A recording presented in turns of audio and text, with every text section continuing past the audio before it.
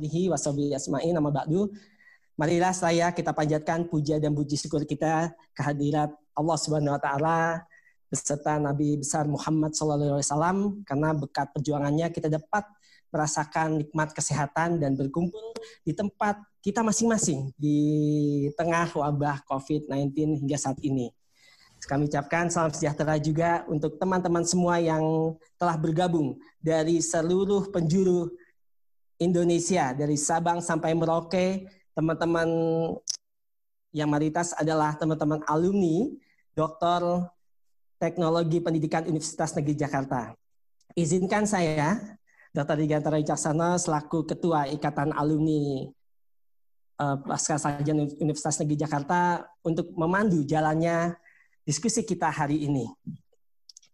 Teman-teman yang sangat saya banggakan, izinkan saya menyapa para undangan kita yang telah bergabung bersama kita bersama, yaitu yang sangat saya hormati dan banggakan ayahanda kami, Bapak Rektor Universitas Negeri Jakarta, Bapak Dr. Komarudin. Selamat pagi, Prof. Komar.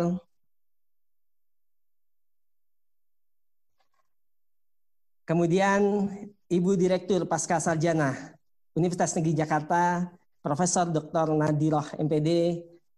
Selamat pagi, Prof. Kemudian Kaprodi S3 Teknologi Pendidikan yaitu Bapak Dr. Sukarjo. Terima kasih Prof. telah bergabung bersama kami serta narasumber di tengah kita sudah bergabung bersama-sama guru kami, ayahanda kami bersama yaitu Profesor Dr. Basuki Wibawa dan insya Allah sebentar lagi akan bergabung bersama kita uh, Wakil Ketua Komisi 10 DPR RI yaitu Ibu Dr. Insinyur Hetifah Saifudian MPP uh, eh, serta akan bergabung juga bersama kita yaitu Bapak PLT Direktur Jenderal PAUD Pendidikan Dasar dan Pendidikan Menengah Bapak Hamid Muhammad MSc PhD. Baik, Bapak Ibu, ada baiknya kita mari sama-sama memulai diskusi daring kita sama-sama dengan membaca doa menurut ajaran percaya masing-masing.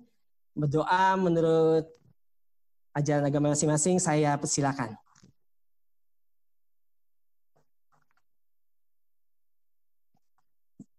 Amin, amin ya rabbal amin. Alhamdulillah, Bapak Ibu, kami ucapkan sekali lagi selamat bergabung. Selamat datang Bapak Ibu peserta seminar daring yang diadakan oleh Ikatan Alumni Program Doktor Teknologi Pendidikan Universitas Negeri Jakarta yang pada uh, hari ini hari Kamis tepat pukul setengah 10 sampai jam 12 kita akan bersama-sama diskus, kita akan sama-sama berdiskusi bagaimana penyelenggaraan perkuliahan uh, bagaimana penyelenggaraan program pendidikan selama COVID-19. Teman-teman bersama, Bapak Ibu yang sangat saya hormati dan sangat saya banggakan, COVID-19 memang telah mengubah kita ketahui bersama, kita sadar bersama telah mengubah wajah pendidikan yang ada di dunia. Khususnya juga yang ada di negeri kita tercinta yaitu di Indonesia. Program pendidikan jarak jauh menjadi sebuah tantangan utama, menjadi sebuah peluang tren serta tantangan serta change yang baru untuk dapat merubah wajah pendidikan yang ada di Indonesia. Untuk itu, kami dari program studi uh, program Ikatan Alumni Doktor Teknologi Pendidikan, kami mengadakan uh, diskusi daring terkait dengan bagaimana pemanfaatan daring serta baik dari segi regulasi hingga dalam tataran uh, praktis yang akan disampaikan oleh para pembicara kita. Alhamdulillah telah bergabung para pembicara kita hari ini yaitu Profesor Dr. Basuki Wibawa dengan Bapak Dr. Uwis Uwes yang telah uh, bergabung bersama kita Bapak Uwes Khairulman. Selamat bergabung Pak. Pak Uwes. Ya, terima kasih sudah bergabung. Alhamdulillah. Baik, untuk itu sebelum kita mulai, marilah kita uh, dengarkan sambutan dari yang pertama yaitu sambutan dari Bapak Soekarjo selaku Kaprodi S3 TP UNJ. Waktunya mohon izin singkat Pak Karjo, 3 menit 4 menit ke depan kami persilakan.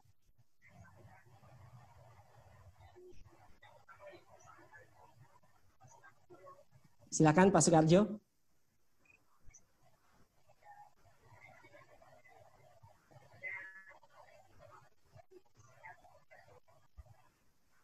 Baik, bisa ma masuk Pak Sukarjo?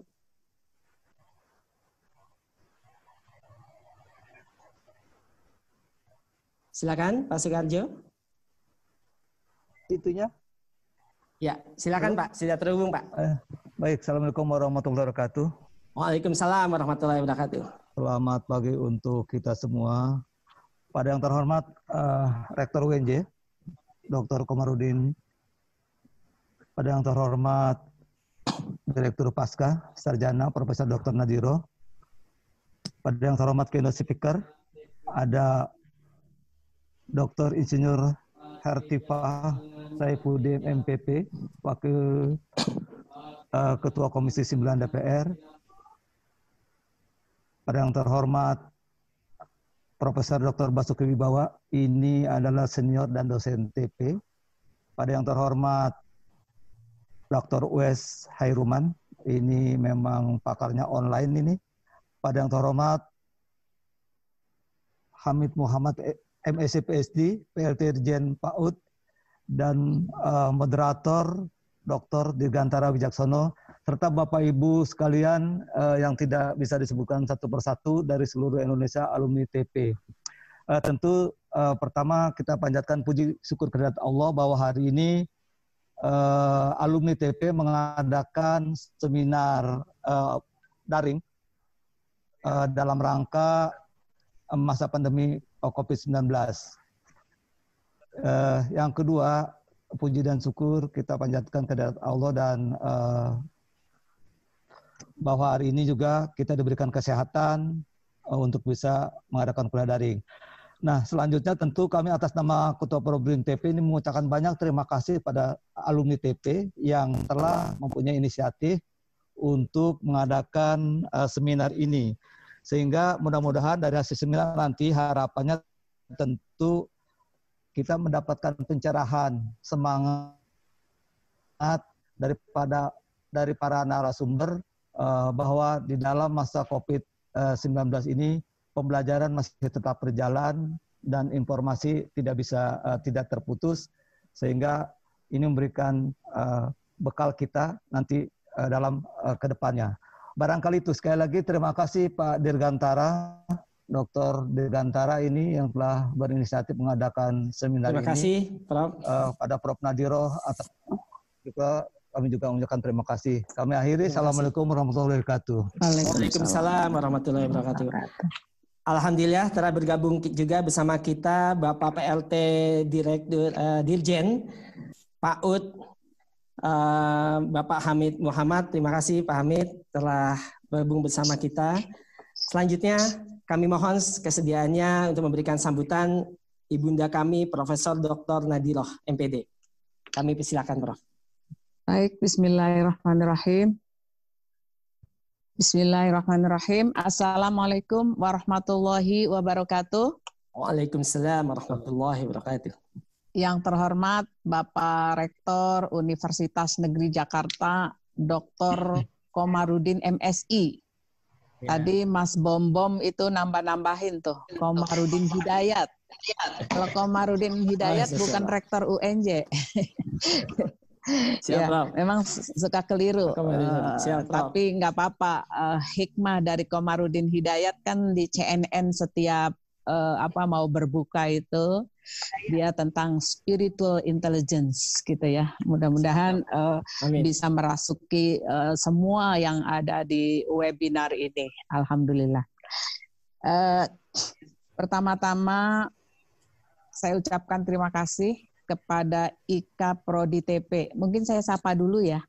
Uh, profesor-profesor yang ada di ruangan ini, mari kembali menguatkan barisan termasuk Prof. Hamid Muhammad. Amin. Ya, Mudah-mudahan. Ya, karena uh, Bapak Hamid Muhammad ini sudah menjadi bagian dari UNJ. Mohon maaf belum ditengok-tengok oleh Pak Sarjana. Kami sudah berniat akan uh, uh, merajut uh, kolaborasi uh, bersama uh, di bidang Tridharma perguruan tinggi di Pasar Sarjana UNJ. Kemudian Dr. Insinyur Hetifah sudah hadir? Sebentar lagi Prof, masih dalam. Oh, baik. Baik, uh, Prof. Basuki Wibawa sudah sudah mulai kembali ke rumahnya, yaitu Pasca Sarjana oh. UNJ. dan ya, dan nanti Dr. Bom Bom juga bagaimana ini supaya bisa bersatu. Uh, Ibu dan Bapak, um, tema hari ini sangat menarik, tren peluang dan tantangan belajar daring. Nah ini uh, tantangan buat pasca sarjana sudah menggawangi dan mengawal sejak dua tahun yang lalu, tapi sampai hari ini uh, uh, blended learning terkait dengan nilai-nilai ketepean itu masih terus dibangun. Uh, baik dari sisi produknya, prosesnya, outputnya, outcome-nya, bahkan sumber daya manusianya. Eh, sehingga di tahun 2020 Pasca Sarjana mengusung uh, bagaimana uh, program studi TP ini mendapatkan sertifikasi dan akreditasi internasional lewat AKAS. Sekarang kami sedang membuat kurikulum OBE, Outcome Based Education dari mulai intended learning outcome sampai portofolio mata kuliah sampai perbaikan dari assessment uh, intended uh, learning outcome. Nah ini Pak US juga eh, selamat datang ke Pasca, katanya mau gabung ke UNJ ya, mudah-mudahan. Sudah, sudah. Oh sudah. Kayaknya sudah keluar, Prof. Uh, kalau Alhamdulillah, gitu, sudah kalau keluar, gitu uh, ini tugas Anda, ya, karena sejak kecil saya tahu siapa Pak US, sekarang sudah besar, sudah dewasa dan akan mewariskan uh, semangat dari generasi tua ke generasi muda. Karena itu adalah sebuah keniscayaan regenerasi itu. Jadi kami tidak akan selamanya, kami akan menuju pada ruang yang lebih indah gitu ya tapi uh, uh, mewariskan eh, hal-hal yang indah kepada generasi milenial izin Prof Jadi, telah bergabung ya. bersama kita Bu ya. Dr. Hetifah oh, ya. Wakil Ketua DPR RI Komisi 10 Ya, Bu Hetifah, selamat datang Bu Hetifah. Terima, terima kasih Bu Nadiro, terima, terima kasih, kasih Mas Bobom semuanya. Ya, Bu Hetipa, uh, tolong bantu NJ, bantu Pasar Sarjana Siap. untuk mengawal mutu sampai uh, dikenang, dikenal, mendapatkan pengakuan internasional Bu Hetipa. Siap Bu. Ya baik. Kemudian program yang kedua adalah OLOB. Uh, apa itu OLOB? B-nya ada dua. One lecture, one books, one blended. Nah, uh, ada 127 dosen-dosen mendapatkan hibah buku. Mengapa uh, harus ada buku? Karena blended tidak mungkin berjalan kalau tidak ada portofolio mata kuliah yang holistik yang mencerminkan intended learning outcome tadi. Nah, dua hal itu mungkin uh, saya ingin uh, merespon tema hari ini tren, peluang dan tantangan memang ada yang lucu-lucu sih tantangannya gitu kan. Beberapa hari uh, kami gujrut gitu ya. gujrut itu bahasa apa ya? Uh, uh, apa ya debat gitu ya. Debat, Rob. Uh, debat ya bahasa Jawanya gujrut gitu ya. Ya, Pak. Saya tidak mau digunakan uh, nomor email saya. Itu adalah email pribadi saya. Terus saya langsung uh, telepon panitia, kenapa email pribadi digunakan untuk seminar? Bu, itu bukan email pribadi. Kalau kita klik Google, otomatis data email Google itu kerekam. Jadi tidak ada satupun email pribadi digunakan. itu lama itu menjelaskannya. Artinya apa? Pola pikir kita untuk mengenal lebih jauh tentang IT juga butuh butuh sharing, butuh pemahaman dan seterusnya dan seterusnya. Belum lagi bagaimana cara masuk, bagaimana cara mengklik, bagaimana cara ini saling belajar. Uh, belajar, belajar dan belajar itulah tantangannya. Jangan saling mencela, tetapi saling berbagi. Mudah-mudahan sinergitas kita terbangun, terutama alumni pasca sarjana UNJ. Satu lagi, mari bergabung uh, ika-ika prodi itu ke dalam mubes ika cana biar bersatu. Tetapi tidak mati di ika prodinya. Ya kan? Jadi ika prodi tetap ada, ika cana ada, ika UNJ ada. Artinya apa? Untuk bersatu. Bukan bercerai. Nah, itu dia. Baik, itu Baik. saja yang bisa Terima saya kasih sampaikan. Banyak, Prof. Terima kasih. Mohon kepada Bapak Rektor untuk memberikan arahan uh, webinar ini mau dibawa ke mana. Itu kan utopia uh, pasca sarjana UNJ terkait dengan uh, tren, peluang dan tantangan belajar daring dan sekaligus membuka acara ini. Sekian, terima kasih. Mohon maaf. Assalamualaikum warahmatullahi wabarakatuh. Waalaikumsalam warahmatullahi wabarakatuh. Terima kasih Ibunda kami Profesor Dr. Nadiro yang telah memberikan uh, pencerahan serta uh, masukan-masukan yang membangun terutama untuk ikatan alumni pasca sarjana yang tersebar di seluruh Indonesia. Kemudian kita masuk selanjutnya adalah pembukaan uh, sekaligus arahan dari Bapak Rektor Universitas Negeri Jakarta kepada ayahanda kami Bapak Dr. Komarudin kami persilakan. Baik, terima kasih. Bismillahirrahmanirrahim. Assalamualaikum warahmatullahi wabarakatuh. Waalaikumsalam warahmatullahi wabarakatuh. Assalamualaikum ya, warahmatullahi wabarakatuh. Uh, I cannot speak Ibu Dr. Hetipa Saifiudian ya. Mohon maaf kata terakhirnya agak susah diucapkan. Kasih. Iya, Prof. Biar cepat ingat nanti. Iya, Bu Hetipa. uh, yang saya hormati uh, Bapak Dr. Hamid Muhammad, ini keluarga UNJ juga. Uh, sekarang masih menjadi PLT uh, eh, Dirjen PAUD dan Dikdasmen. Yang saya hormati, ini sahabat saya, uh, dulu dikenal dekan senior nih, Profesor Dr. Basuki Wibawa. Selamat pagi Pak Basuki. Pagi Pak. Oke, yang saya hormati juga Direktur Pasar Sarjana, di sahabat kami juga, ada Pak Korprodi, moderator, seluruh peserta alumni teknologi pendidikan Universitas Negeri Jakarta yang berbahagia. Uh, tentu uh, pertama-tama uh, marilah kita panjatkan puji dan syukur kehadirat Allah Subhanahu wa taala atas segala rahmat dan karunia-Nya sehingga kita hingga saat ini masih diberikan kesehatan, kesempatan, dan kekuatan untuk bisa melaksanakan tugas dengan sebaik-baiknya. Uh, ketika saya diminta oleh Mas Bom Bom untuk uh, bisa uh, memberikan sambutan Siapa? dan membuka, ini satu kesempatan bagus bagi kami untuk uh, berkenalan dengan alumni TP, dengan keluarga besar TP. Uh, terus terang saja, uh, salah satu prodi yang dibanggakan oleh UNJ adalah TP. Kenapa? Karena TP adalah induknya pasca sarjana. Jadi seluruh prodi itu merupakan anak dari TP, itu seingat saya. Sejak 78 itu seingat saya memang TP, kemudian ada juga PEP dan lain-lainnya, PKLH dan sebagainya. Kenapa? Karena memang UNJ pada saat itu memiliki kekuatan besar di bidang teknologi pendidikan ada Pak Setiadi, kemudian Yusuf Hadim Yarso, oh ya sebelum Pak Yusuf Pak Atwi, dan sekarang masih ada di tengah-tengah kita adalah Profesor Basuki. Kekuatan kita di TP itu menjadi barometer bagi uh, teknologi pendidikan di Indonesia.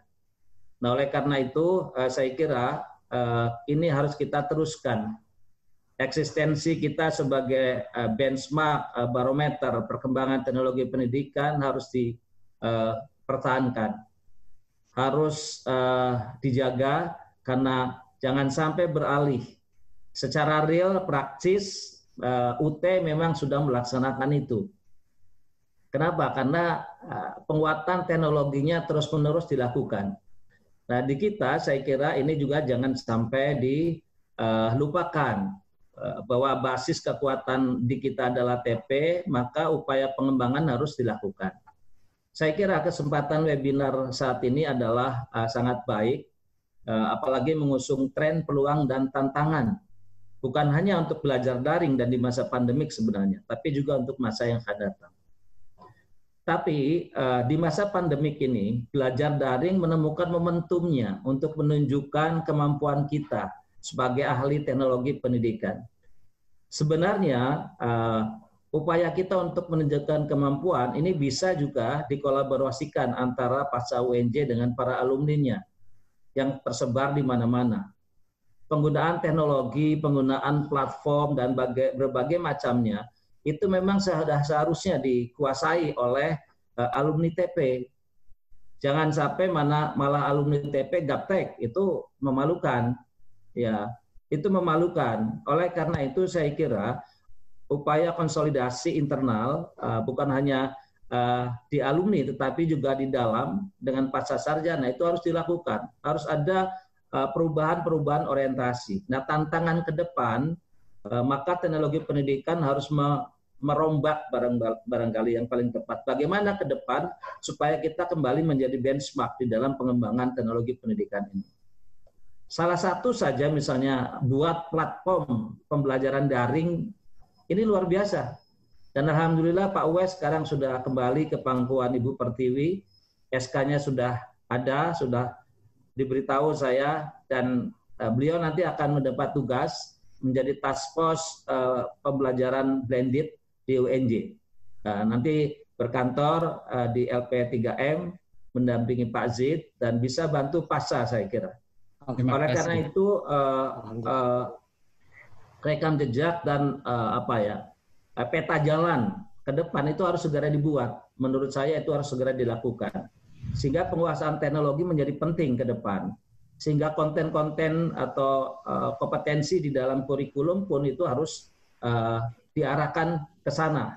Uh, tidak boleh lagi hanya sekedar pada maaf metode lebih banyak kan metode ya, ya. metode pendekatan banyak itu boleh boleh, tetapi uh, belum menunjukkan keunggulan kalau menurut kami. Uh, metode lalu pengemasan konten bahan ajarnya itu menjadi bagian penting lalu kalau penilaian itu wilayahnya PEP. Tapi paling tidak tiga hal tadi, ada teknologi, ada konten, ada metodologi atau pendekatan, itu harus semakin diperkuat, diperbarui terus-menerus.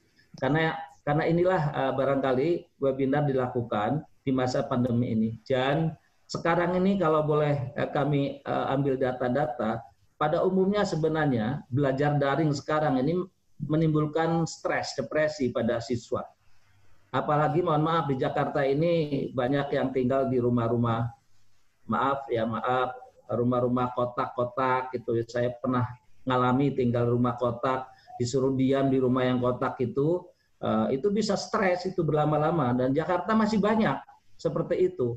Uh, oleh karena ini uh, barangkali bagaimana membuat metode pendekatan, strategi pembelajaran uh, yang yang tidak membuat mereka stres. Apalagi kalau gurunya lebih banyak memberi tugas, ditambah stres.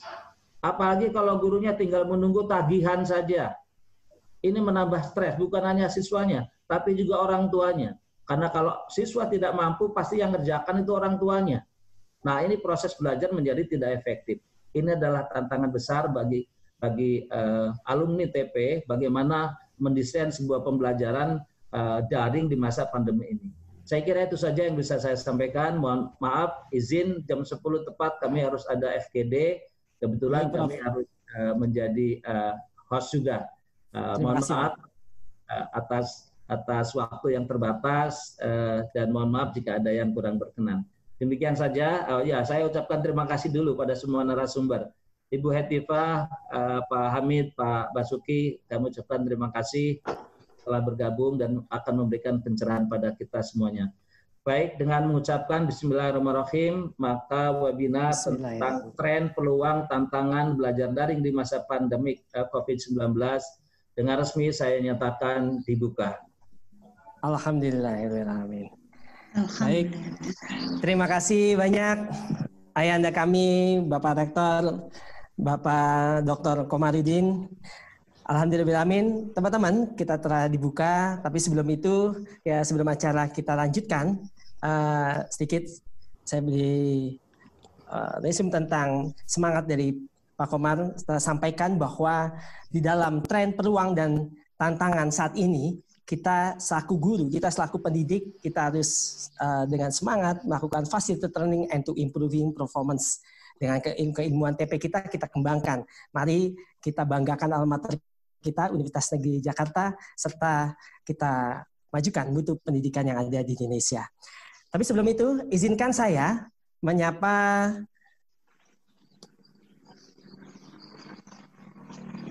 Direktur dari Narasi Institut, yaitu Bang Dokter Pengamat Publik, eh, Bang Dokter Matnur atau Ahmad Nur Hidayat. Terima kasih Bang Matnur sebagai selaku pengamat publik uh, yang sering muncul teman-teman mungkin tidak uh, asing karena sering muncul di ILC.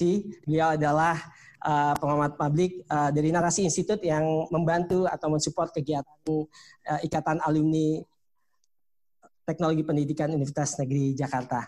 Untuk itu teman-teman yang masih uh, ada di luar, mohon izin Prof, uh, Bapak Ibu, teman-teman semua, saya mendapatkan uh, kabar di live streaming uh, YouTube channel YouTube kita sudah tergabung hampir 200 200-an dan banyak uh, yang sebenarnya ingin masuk di dalam webinar kita di Zoom kita ini tetapi karena keterbatasan akses uh, kita dan untuk agar lebih kondusif kita memang batasi. Untuk itu uh, selanjutnya kita akan masuk ke kegiatan inti kita yaitu keynote speaker. Keynote speaker yang pertama kami mohon uh, kesediaannya Bapak PLT Dirjen PAUD Dikdasmen, yaitu Bapak Hamid Muhammad Fihesti. Ayahanda kami, kami mohon waktunya kami persilakan. Silakan Pak Hamid Muhammad. Pak Hamid sudah tergabung? Assalamualaikum warahmatullahi wabarakatuh. Waalaikumsalam warahmatullahi wabarakatuh. Selamat pagi, salam sejahtera untuk kita semua. Yang saya hormati Pak Rektor yang sudah meninggalkan tempat, Prof. Nadira, Direktur Pasca Sarjana, dan Bapak Perprodi, teman-teman eh, dan Bapak para narasumber, Bu Hetifah, Pak Basuki Wibawa dan Pak Wes dan semua yang hadir pada kesempatan ini. Uh, izinkan saya share screen. Mudah-mudahan uh, presentasi saya bisa apa dipandu dengan uh, tayangan ini. Mohon share ya, screen-nya bisa di, dibuka. Mohon bantuan Bang Zul untuk membuka slide. Baik, baik Ibu dan Bapak sekalian, saya akan menyampaikan beberapa hal terkait dengan pembelajaran daring pada eh, pada tingkat pendidikan dasar dan menengah. Yang ini kami survei beberapa waktu yang lalu pada bulan April. Ini sebagai bagian dari diskusi kita ke depan. Nah, Ibu dan Bapak sekalian, kebijakan belajar dari rumah itu diluncurkan bersama dengan eh, lima paket kebijakan lainnya. Jadi mulai dari pembatalan UN, kemudian bagaimana kelulusan, kenaikan kelas, PBDB, termasuk juga relaksasi penggunaan dana BOS untuk kepentingan uh, pandemi COVID ini. Jadi Bapak sekalian, ini SE Mendikbud nomor 4 ini terbitkan 24 Maret. Ini yang mengatur tentang belajar dari rumah. Ada empat hal yang perlu kami sampaikan. Yang pertama itu pembelajaran dilakukan daring atau jarak jauh. Tapi fokusnya itu memberikan pengalaman bermakna kepada anak, artinya keterampilan proses yang kita eh, dahulukan tanpa harus terbebani tuntutan capaian kurikulum. Jadi bagi sekolah-sekolah yang bisa menuntaskan kurikulum itu bisa dilakukan, tetapi untuk daerah-daerah, sekolah-sekolah yang tidak mungkin menuntaskan kurikulum uh, itu tidak uh, apa para guru harus memilih topik-topik uh, esensial yang harus diberikan kepada siswa. Nah, yang kedua, pembelajaran di rumah itu juga harus memfokuskan pada pendidikan kecakapan hidup. Jadi jangan hanya anak-anak itu diajarkan uh, pelajaran berbasis textbook, tetapi juga bisa eh, kegiatan-kegiatan yang bisa membantu orang tua di rumah, yang itu bagian dari proses pendidikan kita. Jadi agar kegiatan tidak terlalu membosankan. Terutama eh, penjelasan mengenai pandemi COVID-19 seperti apa karakteristiknya, bagaimana pola penyebarannya, dan bagaimana juga eh, apa untuk menghindari terjangkitnya infeksi COVID ini. Nah, kemudian yang ketiga ini tugas pembelajaran dari rumah itu agar bervariasi, tidak harus sama bagi semua siswa, termasuk mempertimbangkan kesenjangan akses eh, internet dan fasilitas belajar di rumah. Kemudian penilaian itu lebih banyak difokuskan pada penilaian kualitatif daripada penilaian-penilaian sifatnya kuantitatif. Nah, Ibu sekalian, kalau kebijakan daring ini diberlakukan, apa yang sudah difasilitasi oleh pemerintah? Jadi Kemdikbud itu punya rumah belajar, kemudian kita juga berpartner dengan penyedia penyedia pembelajaran daring mulai Google for Education, Ruang Guru, Kelas Pintar, Kuiper, Modo, Sekolahmu dan seterusnya. Ini sudah kita eh, apa sebarkan ke semua sekolah untuk digunakan. Dan samping itu juga ada layanan daring yang bisa diakses, ada buku sekolah elektronik, Sapa Duta Belajar, video pembelajaran, membaca digital, dan sebagainya.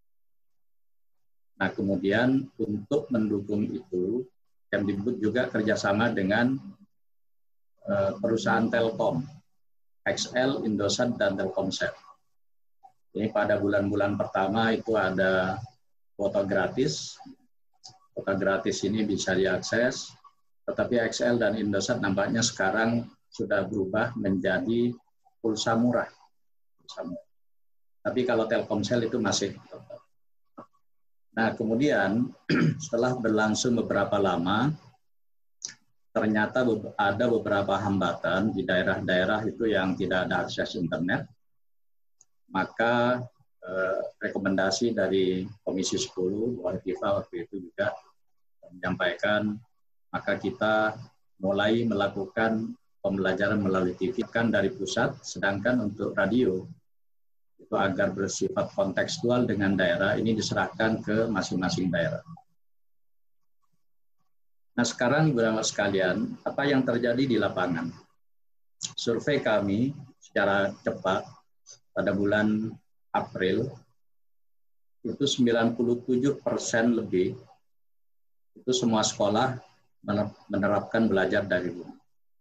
Hanya 2,4 persen saja yang tidak menerapkan, itu pada umumnya berada di daerah-daerah 3T, kemudian daerahnya juga belum diputuskan terjangkit COVID-19 dan seterusnya.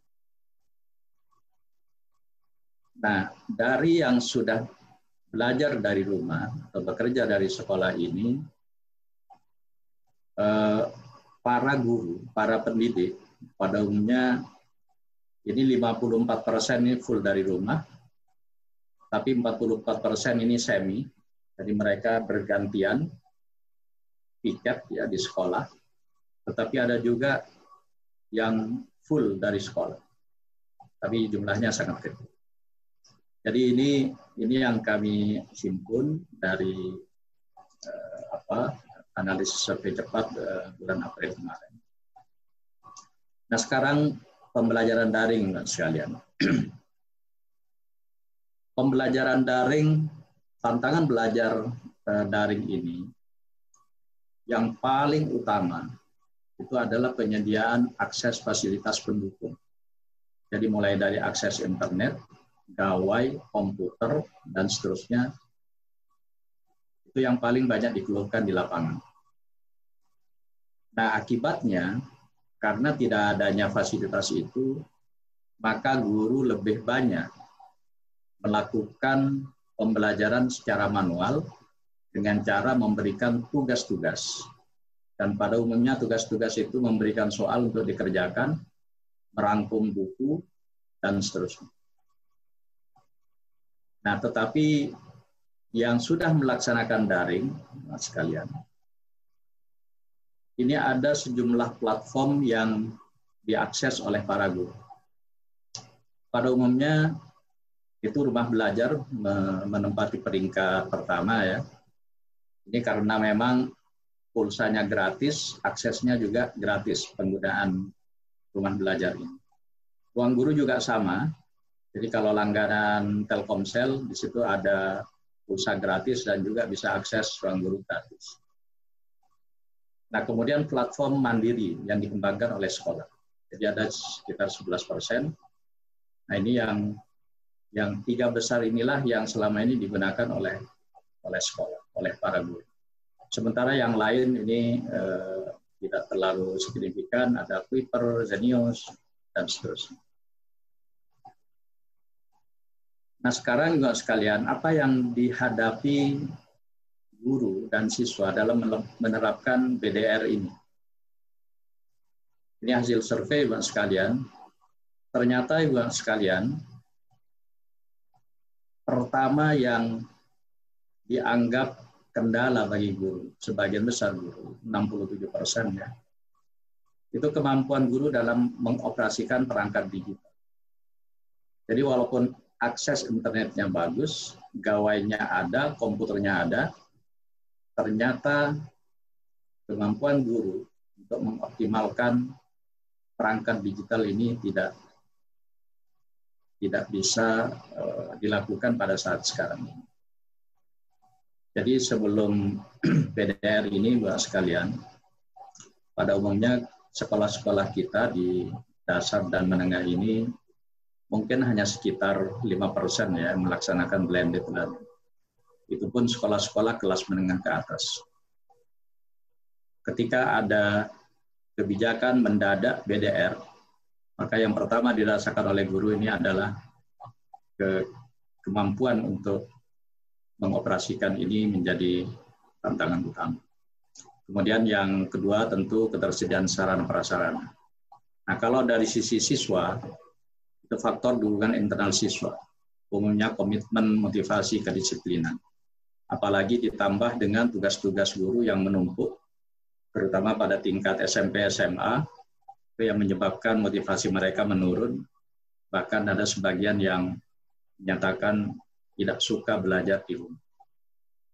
Kemudian berikutnya itu faktor dukungan lingkungan orang tua, lingkungan siswa orang tua, keluarga lain, terutama rumah-rumah yang sempit, banyak uh, saudara dan seterusnya, uh, ini menjadi kendala. Nah, akhirnya Ibu dan Bapak sekalian, yang terjadi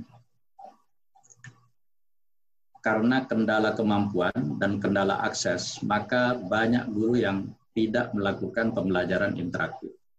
Kalau Ibu dan Bapak sekalian lihat, pada garis ketiga, itu hanya 18 persen guru kita yang bisa menyelenggarakan pembelajaran interaktif. 18 persen lainnya itu hanya meminta siswa belajar untuk menggunakan berbagai sumber elektronik. Lainnya, Ibu dan Bapak sekalian, ini masih semuanya relatif manual ya, memberikan tugas berupa soal kepada siswa, agar belajar menggunakan buku teks, membaca buku pengayaan, dan seterusnya. Nah, ibu sekalian, ternyata TV itu menjadi saluran yang paling banyak ditonton oleh siswa. Jadi ketika anak-anak sudah mulai bosan belajar dengan tugas-tugas yang begitu banyak, maka hadirnya TVRI, program belajar melalui TVRI ini ini menjadi pilihan. Selain untuk membunuh kebosanan ya, itu juga menjadi pilihan utama anak-anak belajar melalui TVRI. Sedangkan yang lain sangat kecil ya, 35 persen itu anak-anak menonton TVRI, menonton program belajar dari rumah yang disiapkan oleh Nah kemudian bagaimana dengan radio?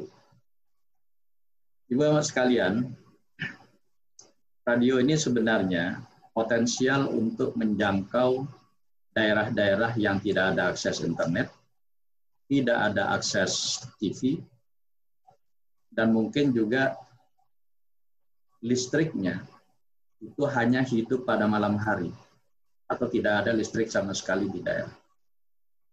Jadi potensinya RRI dan radio lokal itu kira-kira sekitar 10 persen.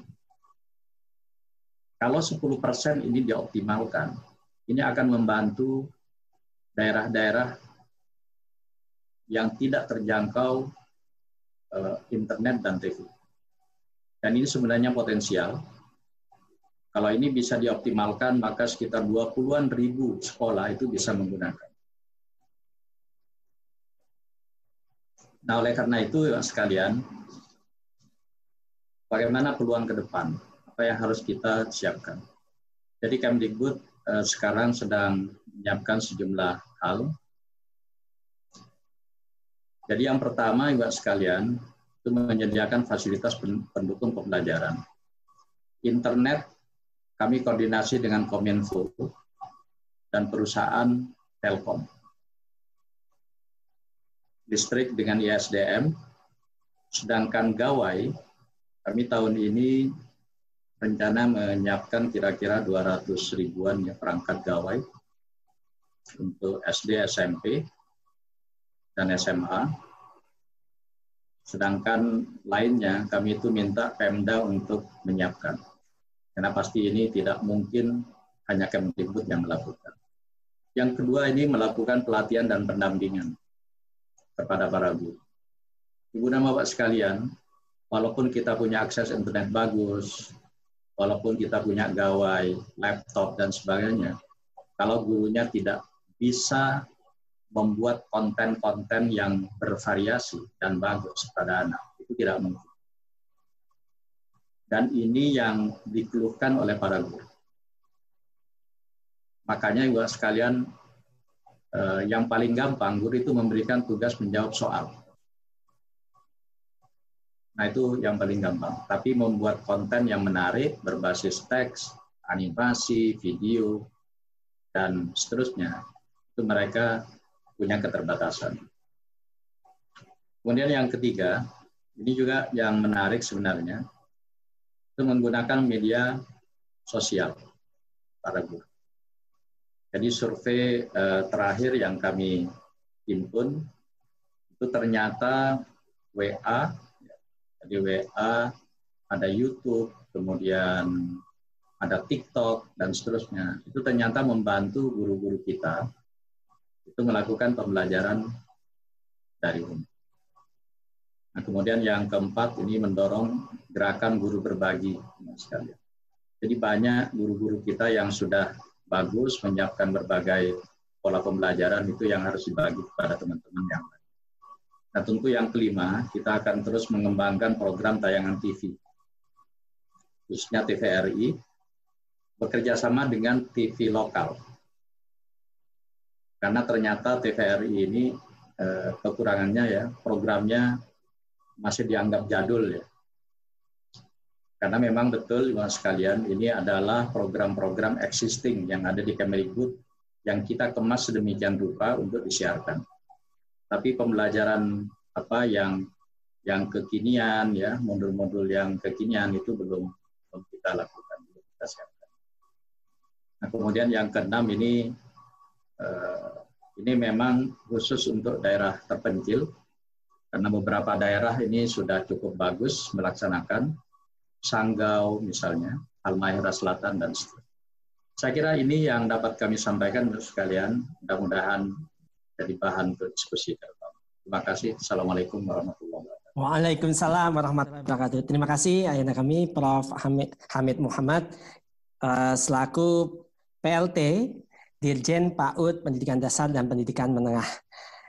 Baik, uh, kita langsung saja karena keterbatasan waktu, karena Bapak Ibu, teman-teman di seluruh Nusantara, seperti jadwal yang telah kami publish bahwa setelah Pak uh, Prof. Hamid dan setelah pemaparan keynote dari uh, Prof. Heti, kita akan ada sesi singkat untuk tanya jawab di sesi pertama uh, mengenai regulasi, mengenai kebijakan baik dari sisi regulasi oleh legislatif DPR ataupun regulasi dari Kemendikbud.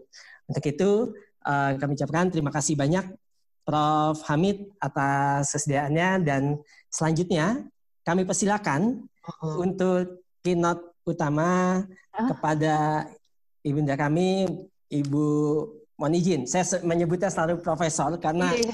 Bu Hetiva ini, uh, Bunda Hetiva selalu menginspirasi kami, terutama uh, saya dan teman-teman BPK Teaching serta teman-teman kampus, mahasiswa-mahasiswa saya uh, dengan sejuta karya-karyanya beliau.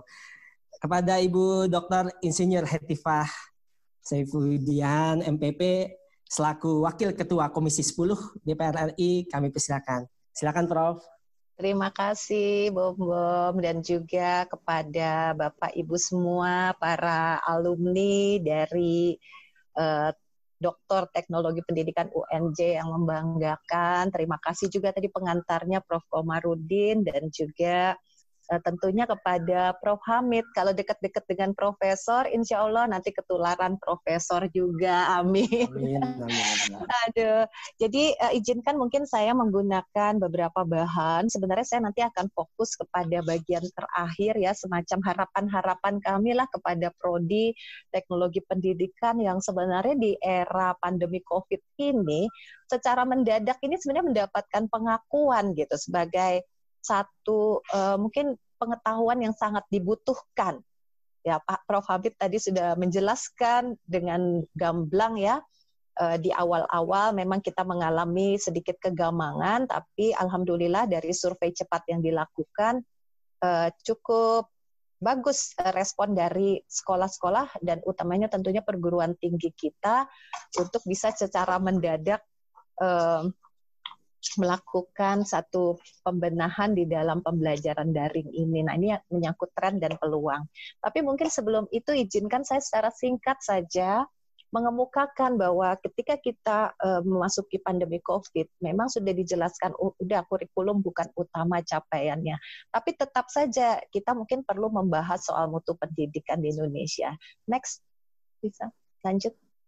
Nah, jadi uh, Pak Hamid kan kita punya delapan standar nasional pendidikan dan memang kita melihat uh, sekarang ini sebenarnya kita masih berkutat di isu-isu paling dasar yaitu sarpras gitu. Kita tahu masih ada sekitar 250 ribu ruang kelas kita yang butuh uh, direhab berat atau sedang ya. Jadi masih ada jutaan anak sebenarnya yang sekarang mengalami uh, mungkin uh, rentan ya kepada mungkin belajar atau uh, di tempat yang aman karena tadi kondisi tempat belajarnya. Ini tantangan yang besar.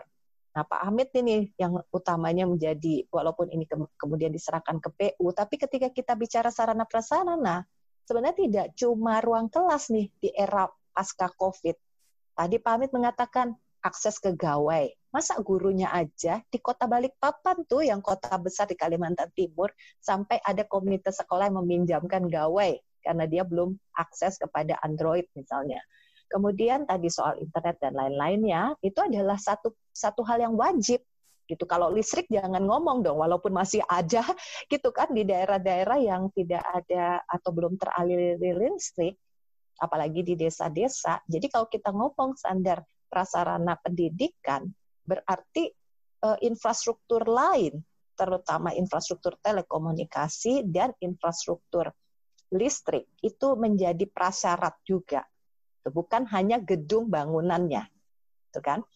Nah, belum lagi kita bicara soal pendidik dan tenaga kependidikan yang mungkin sebelum itu kita anggap mereka sudah kompeten gitu.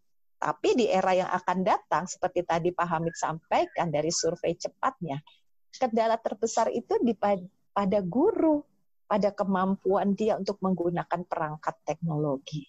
Nah, ini ya yang harus menjadi catatan kita ke depan sebagai prioritas. Next. Nah, jadi kalau misalnya sekarang uh, kita punya anggaran gitu ya yang merupakan manifestasi dari berbagai uh, strategi yang sedang disusun oleh Mas Menteri gitu ya, saya kira kita disadarkan ya bahwa sekarang aja gitu kalau kita menggunakan perangkat bisa ya soal bahwa ada yang setuju atau tidak setuju, tapi saya kira tetap ke depan kita harus punya benchmark internasional. Dan ini harus uh, apalagi di era bonus demografi nanti uh, dan kita juga ingin melakukan berbagai loncatan gitu ya di uh, pasca pandemi COVID ini, maka ini menjadi semakin urgent gitu. Masalah uh, semua harus diredefinisi kembali bagaimana cara kita mencapainya. Apalagi uh, next terkait dengan perubahan keterampi atau perubahan tuntutan yang terkait dengan keterampilan tenaga kerja pun sangat berbeda. Jadi kalau sekarang saya tanya kepada para eh, apa ya pencari tenaga kerja, mereka juga menyatakan banyak sekali lapangan kerja atau kesempatan kerja yang mereka miliki ternyata tidak terisi. Eh, alasannya karena kemampuan-kemampuan tertentu yang mereka cari itu beyond kompetensi yang sudah diberikan oleh pendidikan kita selama ini gitu. Jadi misalnya salah satunya tadi keterampilan untuk menggunakan bukan cuma menggunakan bahkan mendesain gitu. Kadang-kadang kalau bagaimana memanfaatkan teknologi yang dia miliki misalnya gawe itu dia bisa juga harus mampu misalnya membuat uh, dokumentasi, kemudian mampu membuat uh, caption-caption yang bagus, ikut memasarkan dan sebagainya. Jadi keterampilan-keterampilan mungkin sebelumnya tidak dibayangkan perlu diajarkan menjadi justru utama. Belum yang sifatnya soft skill ya seperti tadi daya analisa ataupun literasi data uh, itu sekarang juga menjadi uh, tuntutan utama. Nah, lanjut Nah, problemnya lagi mungkin yang kami hadapi, kita semua hadapi, eh, termasuk teman-teman di Kemendikbud yang menjadi motor utama adalah bagaimana memastikan bahwa ketimpangan hasil belajar yang masih tinggi antar daerah itu kebetulan kan saya dari Altim nih ya. Jadi ya sedih gitu. Apalagi nanti katanya ibu kota negara mau pindah ke sana. Gimana kita cuma bangun smart city tapi tidak ada smart people-nya atau sedikit tentu itu tidak menjawab Eh, persoalan yang sekarang ingin dipecahkan dengan adanya tadi misalnya pengembangan wilayah. Ini juga satu masalah. Nah, arah pembangunan SDM unggulnya kita senang ya Mas Menteri udah memaparkan di depan DPR pada rapat pertama. Awalnya sih waktu itu masa uh, Prof Hamid ya ingat kita agak-agak uh, apa ya mungkin punya suatu prejudis gitu. Wah, Mas Menteri ini pasti uh, begini begitu begini begitu. Ternyata menarik sekali Justru ke depan itu strategi atau arah pembangunan SDM unggul itu dimulai dari pendidikan karakter, kemudian juga tadi pentingnya bagaimana eh, tadi menciptakan inovasi-inovasi secara kemudian tadi memperbaiki eh, atau melakukan deregulasi dan debirokratisasi serta eh, penciptaan lapangan kerja termasuk terakhir adalah pemberdayaan teknologi. Walaupun terakhir sekarang akhirnya jadi utama lagi nih gitu. Karena eh, sekarang kita mau tidak mau, jadi seperti tadi berarti pengadaan-pengadaan eh, hal-hal yang terkait termasuk negosiasi dengan para penyedia atau provider telekomunikasi itu menjadi sangat penting walaupun itu udah lintas kementerian atau lintas uh, organisasi ya karena kan ada BUMN dan sebagainya. Jadi benar-benar kementerian ini harus kerja keras sekali sekarang uh, untuk merealisasikan ini. Nah, mungkin masuk ya kepada kalau saya kira mungkin beberapa kebijakan tadi Pak kan Prof Hamid sudah menjelaskan gitu ya. Saya kira nggak nggak perlu kita bisa lewatkan gitu uh, apa problem-problem atau permasalahan daring. Mungkin sedikit aja kalau mau ditampilkan saya tidak membuat uh, satu. Jadi ada beberapa permasalahan sama, hampir sama, cuman urutannya aja tadi menuliskannya karena ini bukan melalui survei yang uh, sistematis, tapi waktu itu saya menggunakan Instagram saya. Saya tanyakan anak-anak, siswa, mahasiswa, bapak, guru, dosen, orang tua gimana proses belajar online-nya di rumah, apa kendalanya, gitu kan? Wah belum ada kebijakan yang memihak nih atau mungkin uh, kan untuk ini misalnya uh, tugasnya kurang banyak diskusinya, penjelasan kepada materinya, kemudian uh, deadline-nya terlalu mendadak, pulsa, ya pasti ya itu ya. uh, ada banyak lah keluhan dan sebagainya. Tapi ini lucu-lucu gitu, lucu-lucu. Uh, gimana cara mereka mengemukakan tuh uh, benar-benar apa ya menunjukkan ya uh, apa situasi yang dihadapi pada saat itu. Dan alhamdulillah kementerian begitu responsif ya dalam rapat-rapat kalau kami kemukakan walaupun data ini tidak sistematis tapi data dari daerah itu kami suarakan dan direspon dengan sangat cepat. Antara lain tadi dengan adanya e, beberapa perubahan kebijakan, relaksasi dana bos, adanya juga mungkin eh, peraturan-peraturan lain yang luar biasa dari e, Prof. Hamid dan kawan-kawan. Nah, yang sekarang penting mungkin ke intinya soal tren. Ya. Tren yang menarik ini, pertama dengan diterapkannya kebijakan daring gitu, ada beberapa fenomena yang kami amati ya, yang ini baru tapi sangat penting dan menarik untuk teman-teman nih di sini tantangan bersama. Uh, saya lihat ini sharing session antar guru komunitas pendidikan ini luar biasa. Sehari itu saya yakin nih Prof Hamid udah menjadi celebs gitu. Sehari mungkin 12 sesi video Masya conference Allah. ataupun sharing. ya, Dan secara mendadak gitu ya, uh, saya juga kadang begitu gitu. Jadi uh, senang gitu karena dari sharing session seperti ini kita juga bukan cuma menceritakan apa yang kita sedang lakukan, tapi juga mendengar realita tadi pagi jam 7 pagi saya sudah bergabung dengan sekitar 500 guru-guru PAUD Prof. Hamid, aduh guru-guru PAUD luar biasa. Mereka betul-betul memang di garda terdepan dan kondisinya juga perlu kita pikirkan. Jadi sharing session ini memberikan motivasi baru yang sebelumnya mungkin mereka uh, frustasi sendiri atau gimana, tapi dengan adanya sharing session, bayangin ada Prof. Hamid nih di, di forum ini, kita langsung tahu pasti akan ada tindak lanjut dari diskusi ini. Jadi uh, ini menarik. Kemudian antusiasme tadi ya seminar-seminar online yang lebih tadi ya mungkin uh, kalau sharing session tadi itu gurunya yang banyak ngomong, politisi diam aja dengerin. Karena kan memang uh, mereka yang ingin menceritakan kondisinya baik organisasinya maupun kesejahteraan dan kondisi orang tua murid, siswa gitu. Nah, uh, yang juga menarik karena saya perempuan nih Prof, jadi banyak temannya ibu-ibu gitu ya. Kebetulan hmm. saya juga ketua organisasi perempuan, pernah menjadi ketua uh, Kesatuan Perempuan Partai Golkar dan saya uh, juga dengan Prof Hamid didukung ada namanya Golkar Pintar. Nah, itu banyak sekali orang tua yang mengeluh gitu kan dan akhirnya nyadar gitu. Ternyata jadi guru tuh susah. Baru deh sekarang menghargai gitu ya. Uh, setelah kita di rumah jadi guru, kita terlalu overestimate juga seolah-olah orang tua itu memahami bagaimana caranya mendidik anak. Ternyata mereka itu kewalahan gitu. Dan sering stres suaminya ikut stres tapi saya menekankan sebenarnya tugas mendidik anak di sekolah di rumah itu bukan tugas ibu tapi tugas keluarga termasuk sang bapak termasuk kakak baik laki-laki maupun perempuan. Jadi sebenarnya isi kesempatan kita membangun pendidikan keluarga secara lebih komprehensif dan juga menarik ya bahwa proses pendidikan yang lebih multiliterasi itu jadi lebih banyak dipraktekkan gitu. Kalau saya sendiri kan udah punya nggak punya anak besar, eh, anaknya besar besar tapi punya cucu.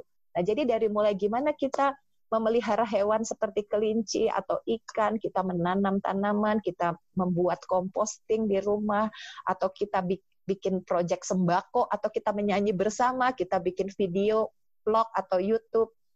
Itu semuanya tuh pendidikan gitu dan orang tua tuh baru sadar sadar gitu bahwa sebenarnya parenting ini selama ini juga mungkin gitu ya agak terabaikan. Saya pun begitu sih baru nyadar juga ternyata uh, sangat penting dan saya pernah sampaikan ini sih ya Prof Hamid di rapat pertama bahkan saya minta tolong dia diperhatikan sekali juga ini soal orang tua karena mereka lah yang sekarang menggantikan fungsi guru.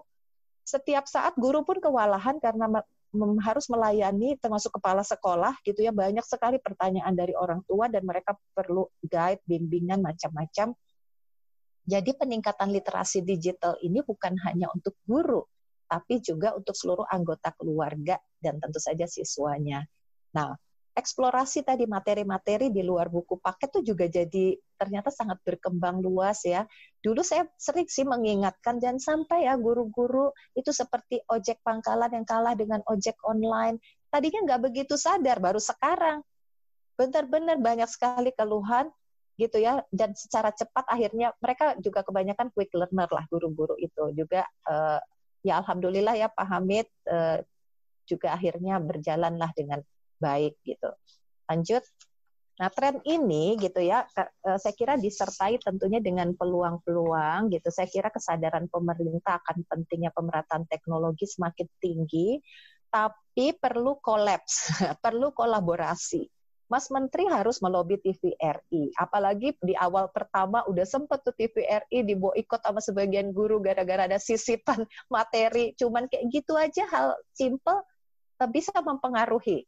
Jadi memang harus ada, uh, mas, untungnya lah tadi Prof. Hamid cepat gitu ya mengantisipasi, kemudian diperbaiki, disempurnakan, kemudian juga dengan Menkom Info, uh, termasuk PLN gitu. Jadi tingkat uh, elektrifikasi kita mungkin harus 100%, jangan sampai TVRI pun kita nggak bisa nonton gitu di sebagian daerah. Nah, RRI menarik untuk dilibatkan uh, karena banyak ternyata di desa-desa, apalagi petani-petani itu lebih gampang nenteng-nenteng radio ya untuk anaknya uh, daripada TV atau mungkin mereka tidak punya TV.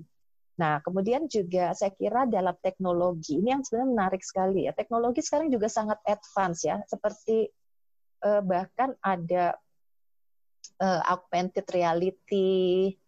Kalau di pariwisata sudah mulai berkembang ya kemudian juga bahkan robot udah bisa mulai dimanfaatkan kalau di beberapa negara eh, dan teknologi-teknologi lain yang mungkin ini teman-teman nanti menjadi tugas kita gitu ya di dalam pendidikan eh, itu sebenarnya teknologi itu alat yang harus dimanfaatkan semaksimal mungkin.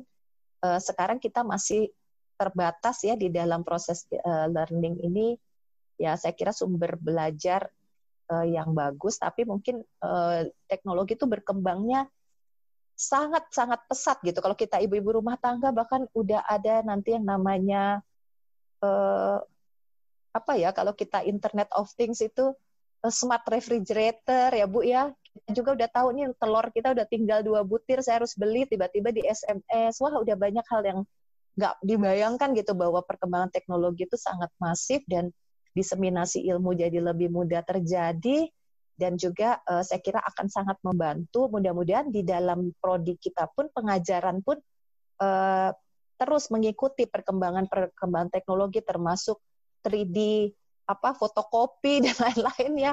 Ya kan? Uh, ini mungkin menarik untuk menjadi bahan pembelajaran ke depan.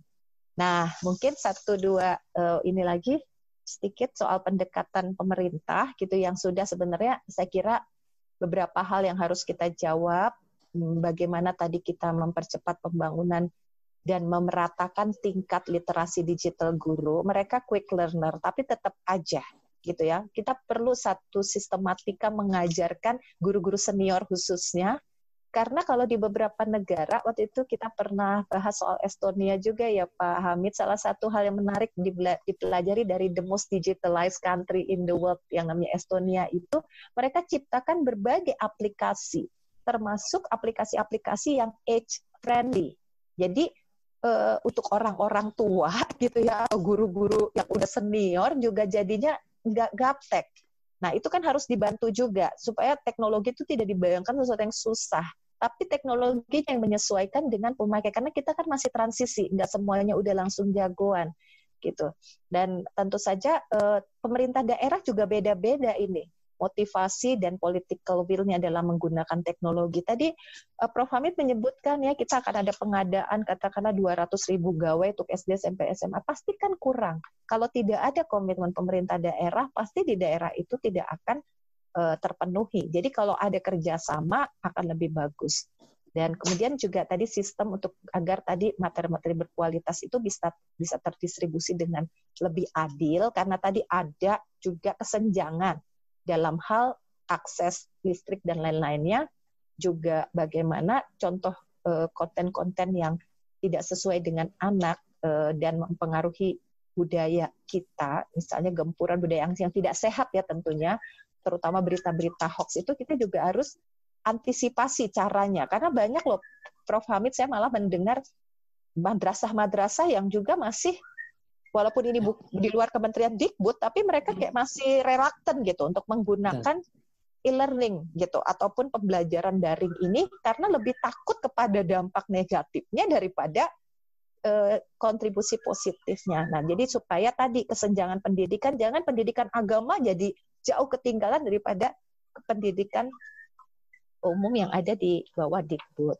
Nah, itulah jadi mungkin uh, harapan terakhir saya, saya juga apresiasi kerjasama Google dengan Kemendikbud yang baru disampaikan ya Prof. Hamid. Saya kira para pengajar nanti bisa mendaftarkan diri untuk mendapatkan uh, pulsa gratis ini, paket data ini, mudah-mudahan bermanfaat. Nah, peran prodi teknologi pendidikan gitu ke depan gitu saya ada beberapa catatan. Mudah-mudahan bisa menjadi bahan diskusi kita hari ini.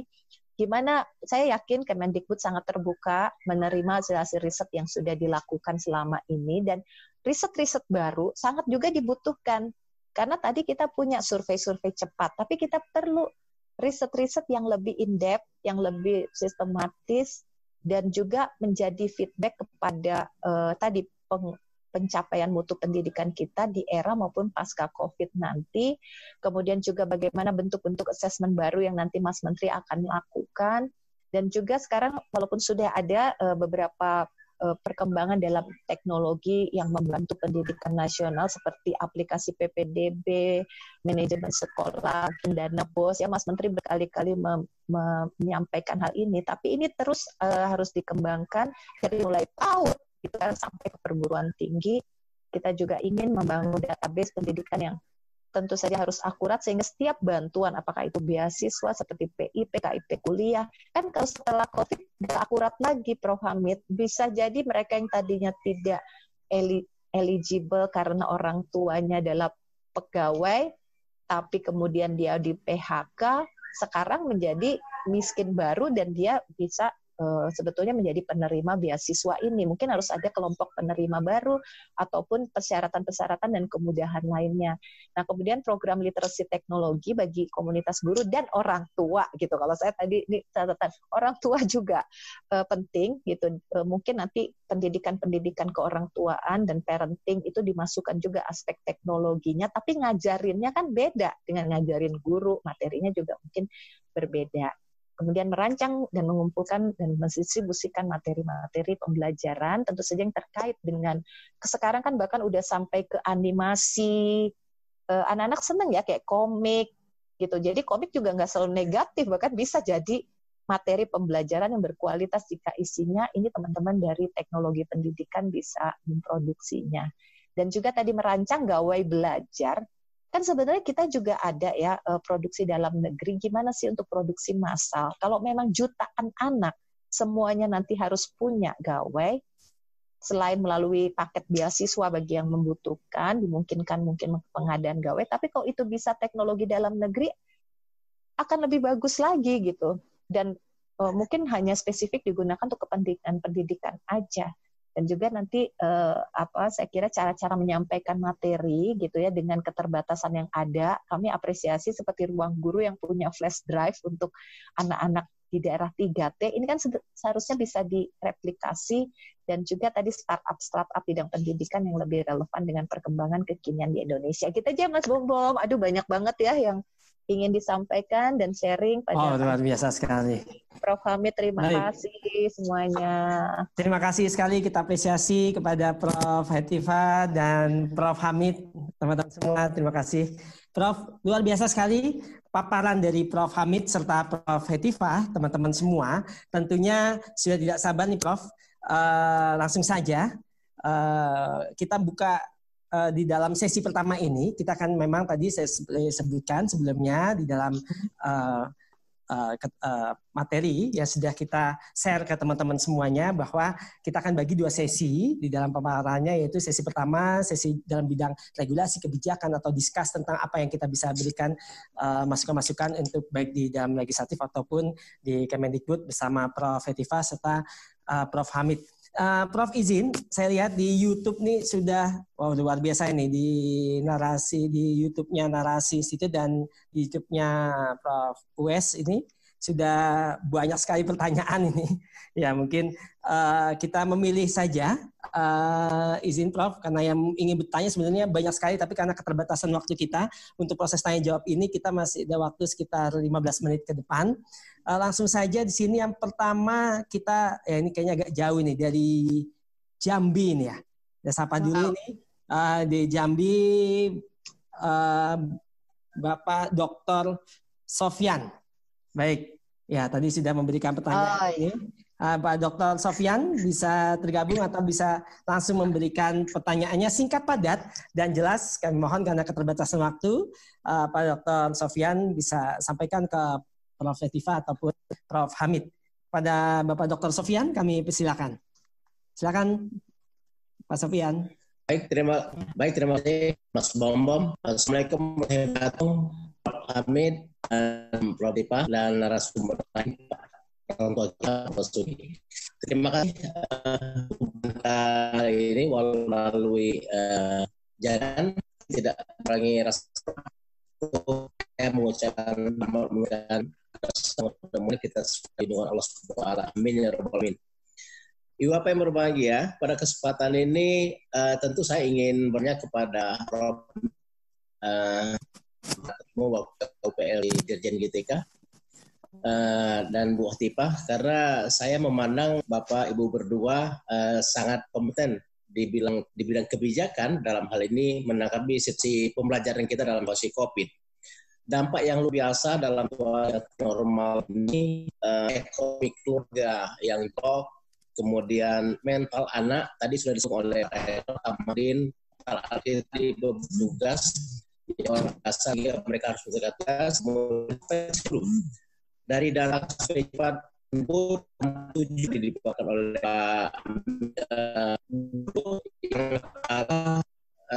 Mungkin agak putus-putus ya. Bisa lebih ini Pak Sofian, mohon maaf, bisa lebih dipersingkat karena agak putus-putus dan suaranya lebih keras sedikit boleh? Uh, yang in baik, yang ingin saya tekan apakah dalam kondisi ini Menteri Pendidikan sudah membentuk uh, tim cepat pada masa ini. Jadi kebijakan ini memang di daerah karena beberapa hari ke belakang saya tentang masalah yang mereka belum ada kebijakan yang seram Nah, oleh kita ada macam tim perkataan pembelajaran sehingga pelajaran kita bisa fokus dalam situasi yang normal. Itu saja yang dapat saya sampaikan. Mohon izin terima kasih Bu Tipa, Pak Hamid Muhammad. Mudah-mudahan dapat Baik, terima kasih. Wassalamualaikum warahmatullahi wabarakatuh. Waalaikumsalam warahmatullahi wabarakatuh. Mungkin tadi mohon izin Prof. Hamid, Prof. Hetifah karena mungkin jaringan uh, Pak Sofian Paring ini dari Jambi ya. Baik. Uh, pertanyaannya sebenarnya di uh, kita tampung dulu. Tadi Pak beliau menanyakan tentang apakah dari hasil-hasil riset itu dari kondisi ini ada tim khusus gitu dari Kemendikbud, Prof Hamid untuk melakukan ada survei survei ya Pak Pak Sopian ya. Uh, tim survei supaya tim ya, kebijakan untuk tentang kecepatan pembelajaran. Ya, kebijakan untuk percepatan proses pembelajaran terutama di era COVID-19 ini. Baik, itu pertanyaan yang pertama. Mohon izin uh, kita tampung dulu. Ada pertanyaan kedua dari YouTube ini uh, dan uh, beliau adalah Mas uh, dari Pak Boy Pasaribu yaitu uh, Mbak Dr. Boy Pasaribu, dia mempertanyakan bagaimana di situasi yang banyak disrupsi atau perubahan-perubahan yang mendadak saat ini, guru dan siswa bisa tetap termotivasi, tergerak, beradaptasi eh, beradaptasi dengan perubahan. Ya, ini terkait motivasi mungkin ini ya. Uh, apa namanya? Uh, di, memang di era diskusi perubahan-perubahan ini kita banyak melakukan uh, sama-sama integrasi antar atau penyesuaian-penyesuaian dari dari proses tatap muka ke proses PJJ. Mungkin uh, langsung saja uh, yang pertama silakan kami mohon untuk Prof Hamid Muhammad dulu menjawab tadi pertanyaan dari Pak Sopian uh, dari Jambi. Silakan Prof. Sofian, eh, Prof. Hamid, mohon izin.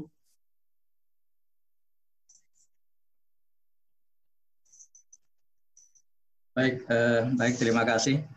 Eh, pertanyaan Pak Sofyan saya agak kurang clear ya.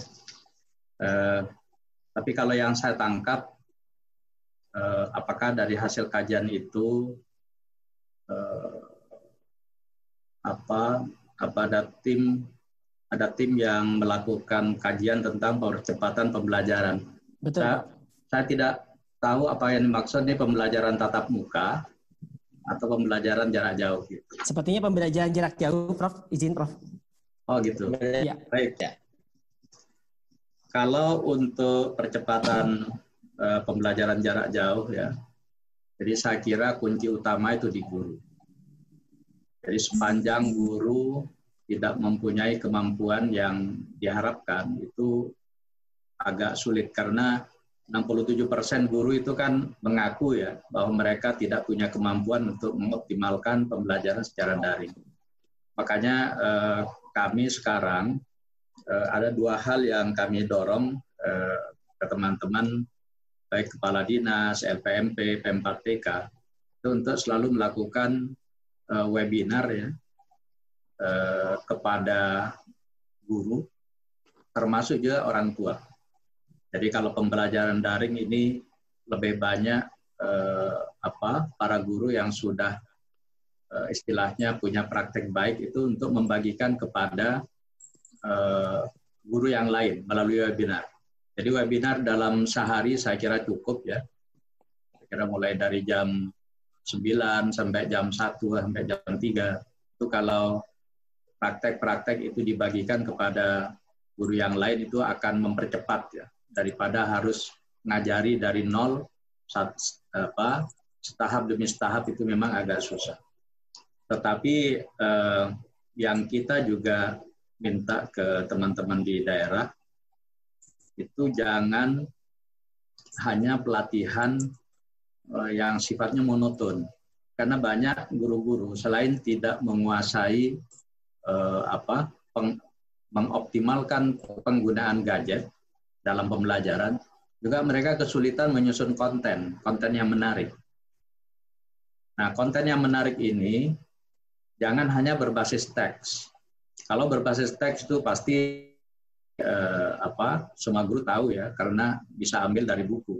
Tapi berbasis animasi, berbasis video eh, dan seterusnya itu itu bukan hal yang mudah, tetapi bukan tidak mungkin tidak bisa dilakukan.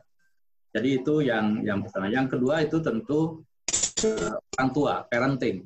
Jadi kalau parenting apa, kalau hanya guru yang kita dorong untuk menguasai pembelajaran daring, tapi orang tua tidak diberikan kiat bagaimana mendampingi anaknya di di rumah, itu juga uh, agak kurang pas ya. Sehingga faktor utama itu ya komunikasi antara orang tua dan guru itu harus dioptimalkan. Nah, kemudian nah kalau infrastruktur tadi sudah saya sampaikan, mungkin Hetiva nanti bisa menyampaikan. Tapi faktor terpenting saya kira dari survei yang yang kami lakukan, tapi kami tidak tampilkan. Para guru itu ngeluh karena pemerintah daerah itu tidak membantu memfasilitasi. Sebagian besar mengeluh seperti itu. Jadi dalam keadaan mereka bingung dan seterusnya, ada keluhan sebagian besar guru itu Eh, Pemda kurang memperhatikan eh, kesulitan mereka. Tapi kami eh, sudah rakor seminggu yang lalu dengan para kepala dinas seluruh Indonesia. Tolong jangan biarkan para guru-guru kita ini apa tanpa tanpa bimbingan ya, tanpa bantuan kepada mereka. Nah, kemudian sekalian, bagaimana agar guru dan siswa tetap termotivasi? Iya, Pak. Kuncinya Ibu dan Bapak sekalian, jangan memindah ruang kelas itu ke rumah. Hmm. Iya, Pak. Kalau kalau itu dilakukan guru, itu otomatis udah siswa itu akan nyerah. Siswa akan nyerah, orang tua juga akan nyerah. Makanya kami memberikan kelonggaran kepada para guru, tolong pilih materi-materi esensial yang perlu diberikan kepada para siswanya di rumah. Kemudian yang kedua, mereka harus memberikan pembelajaran yang bervariasi. Jangan hanya mengirim soal-soal yang harus dijawab setiap hari dan seterusnya. Tapi kasih tugas-tugas yang sifatnya kontekstual sesuai dengan lingkungan eh, anak-anak itu berada. Kalau itu dilakukan, saya kira eh, ini akan apa bisa menjaga motivasi siswa untuk belajar. Dan yang terpenting juga eh, komunikasi antara guru dan orang tua itu akan sangat penting. Saya kira itu uh, jawaban saya sebentar. Silakan. Uh, baik, terima kasih sekali Prof. Hamid. Uh, sedikit Prof, uh, diberi tanggapan mengenai desain, uh, desain terutama kami selaku alumni-alumni Doktor Teknologi Pendidikan, sebenarnya kami uh, alumni-alumni di, di dalam grup alumni itu telah banyak sekali Prof. Desain-desain konten-konten pembelajaran yang menarik, desain-desain yang telah kami uh, siapkan. Cuman uh, nampaknya akses itu ya, akses alumni-alumni kami ini di Kemendikbud uh, yang menjadi uh, pemangku kebijakan ini sangat sedikit, Prof. Walaupun memang seharusnya kan yang uh, bagaimana kalau bisa kita lihat uh, dalam pengembangan kurikulum ini memang salah satunya TP memiliki peran serta yang begitu. Iya, mungkin, Uh, mungkin kami, ya, kami sangat ya, sangat senang. Kami senang kalau misalnya ada apa produk-produk hasil-hasil yang menarik, modul-modul dan seterusnya yang bisa Eh, kami share kepada para guru. Karena kami kan punya rumah belajar ya. Jadi rumah belajar itu uh, inputnya selain dari para guru di lapangan dan seterusnya, uh, memang dari akademisi mungkin perlu uh, kami undang. Ya, Prof. Amin. Karena amin. terus terang, terus terang memang dari akademisi memang kurang. Saya, saya nggak ya, tahu ya ininya. Semoga Prof. Kemudian nanti bisa kita amin. sambungkan. amin amin. Insya Allah Ikatan Alumni Doktor Teknologi Pendidikan siap, Prof. Uh, izin Prof. Hetiva. Bagus. Uh -uh. Itulah Silakan, Prof. Hetiva. Iya, Prof. Benar, Prof. Alhamdulillah ya. Alhamdulillah, Prof. Hetiva. Uh -uh. Prof. Hamid sekarang iya. sudah bergabung juga bersama kami di Universitas Negeri Jakarta, Prof. Iya betul. Yeay. Alhamdulillah. Jadi bisa ada kolaborasi yang luar biasa, Prof. Siap, Prof. Silakan, Prof. Etifa mungkin terkait ya. kebijakan, Prof. Tadi uh, ada tambahan sedikit, Prof. Pertanyaan. Ya. Uh, bila dengan pendidikan klasikal terukur uh, masih gagal nih, Prof, mencetak SDM yang kompeten, bagaimana dengan pendidikan daring? Dan pendidikan yang bertujuan untuk menjadikan manusia hidup bermasyarakat uh, learning to life together ya bisa hilang melalui pendidikan daring. Mohon penjelasan dari Ibu mungkin terkait juga dengan regulasinya nih Bu. Regulasi-regulasi apalagi uh, banyak muncul di sosial media, banyak muncul di pemberitaan bahwa kondisi ini bagaimana kondisi proses pembelajaran kita kalau sampai di akhir tahun, sampai di uh, bilang mizalik, tetapi memang COVID ini bisanya uh, bagaimana prosesnya sampai di akhir tahun 2012, uh, maaf 2020 ini. Yeah. Siap, Prof. Yeah. Kami mohon, Prof. Silakan, Prof. Pertama, saya merasa uh, senang ya dan uh, apa dengan tadi Prof. Hamid sangat simpatik menerima uh, tawaran kontribusi dari teman-teman alumni doktor yang memang ini ilmunya sangat ditunggu. Uh, saya juga pikir teman-teman dari prodi satu dengan prodi lain bisa kerjasama ya. Seperti saya kan kebetulan alumni ITB. Nah di situ tuh di jurusan ada jurusan di seni rupa itu ada di fakultas itu ada DKV. Nah ternyata satu Indonesia juga ada asosiasi DKV Prof Hamid dan mereka tuh sangat advance. Kalau saya lihat produk-produknya gitu. Banyak dari siswa-siswa yang bahkan sudah di kancah dunia itu berprestasi dari sebagai game developer ataupun membuat animasi. Dan itu sangat luar biasa karya-karya uh, sebagai video maker, filmmaker. Dan saya pikir ini karya-karya anak bangsa. Dan mereka kan sekarang banyak yang kerja di perusahaan-perusahaan uh, internasional yang mungkin kerjanya di Bandung atau kerjanya di mana, tapi sebenarnya untuk dunia gitu. Nah, kita bisa memanfaatkan karya-karya mereka dan kita bisa kerjasama karena kalau saya lihat di prodi TP itu pendidikannya lebih masih dominan daripada aspek-aspek ke teknologinya. Pak. Betul sekali Pak, betul sekali. ya.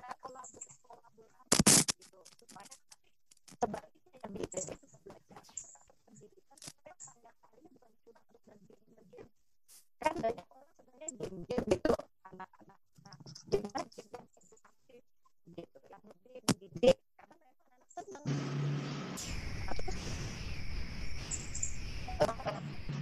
Mungkin izin suaranya, Prof. Agak terputus nih, Prof. Iya. e, memang ini tidak stabil. Nah, dan yang kedua mungkin tadi eh, lanjut terkait dengan saya, saya pikir teman-teman Kemdikbud sudah memiliki satu skenario gitu. Skenario kalau misalnya kita cepat bisa menangani COVID, walaupun saya eh, pernah berpendapat hati-hati juga karena kan tetap keamanan dan faktor keselamatan anak itu nomor satu. Dan tiap daerah tuh beda-beda ada yang masih zona merah ada yang mungkin udah zona hijau gitu. Jadi tidak bisa sama aturan soal kalender belajar ini gitu tapi kalau memang di beberapa negara kan orang bahkan udah bikin beberapa skenario sekaligus gitu dalam program pendidikannya misalnya boleh belajar tapi uh, dibikin sistem shift sehingga nanti jumlah anak per kelasnya dibatasi misalnya. Terus juga saya lihat uh, jelas protokol COVID-nya itu sekarang uh, dan standar higienis dari setiap sekolah itu harus tinggi. Sementara sekolah kita banyak yang belum punya uh, untuk cuci tangan aja ada ya sekolah yang nggak punya dong wastafel gitu.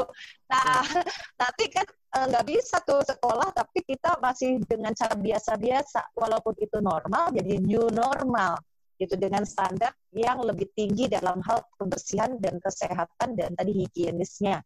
Tapi juga dalam hal-hal lainnya. Jadi anak-anak dibiasakan nanti sebelum berangkat sekolah gimana sepulang ke rumah bagaimana dan lain-lain. Nah, ini yang mungkin harus kita lakukan dalam tahap pemulihan dan normalisasi nanti sebagai bagian juga dari satgas tadi. Jadi saya sebenarnya setuju kalau Pak Sofian Ferry tadi punya usul mungkin ya perlu juga dibuat satu satgas sendiri supaya proses pembelajaran sebenarnya ketinggalan kan gitu. Tapi saya juga setuju sama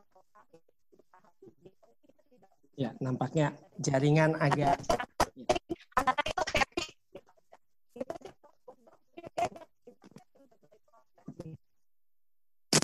Baik.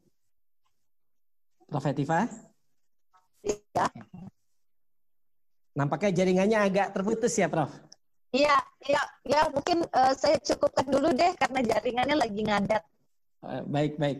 Terima kasih, Prof. Etiva. Uh, sudah, waduh, masya Allah, kita banyak sekali pertanyaan. Tetapi jangan lupa, teman-teman, uh, subscribe Narasi Institut. Silakan di YouTube-nya Narasi Institut terkait dengan kebijakan publik, terutama di era COVID-19 ini, bisa teman-teman uh, lihat dan tayangan kita juga sedang live uh, izin Prof Hamid, Prof Etiva. Oh ya, boleh nggak saya, ini mumpung ya, internetnya agak lumayanan, ada satu ya. soalnya ini titip untuk Prof Hamid dan teman-teman tadi dalam konteks situasi disrupsi, supaya tetap termotivasi, saya kira kita harus ciptakan berbagai stimulasi dan insentif Prof. Tadi salah satunya kalau ada pengadaan gawai itu bagus, tapi sebenarnya di sekolah itu kita nggak perlu komputer yang berpuluh-puluh hanya untuk ujian satu tahun sekali atau UN gitu, UNBK. Tapi yang kita perlukan juga setiap sekolah itu punya satu auditorium mini di mana mereka juga bisa nonton bareng YouTube-nya.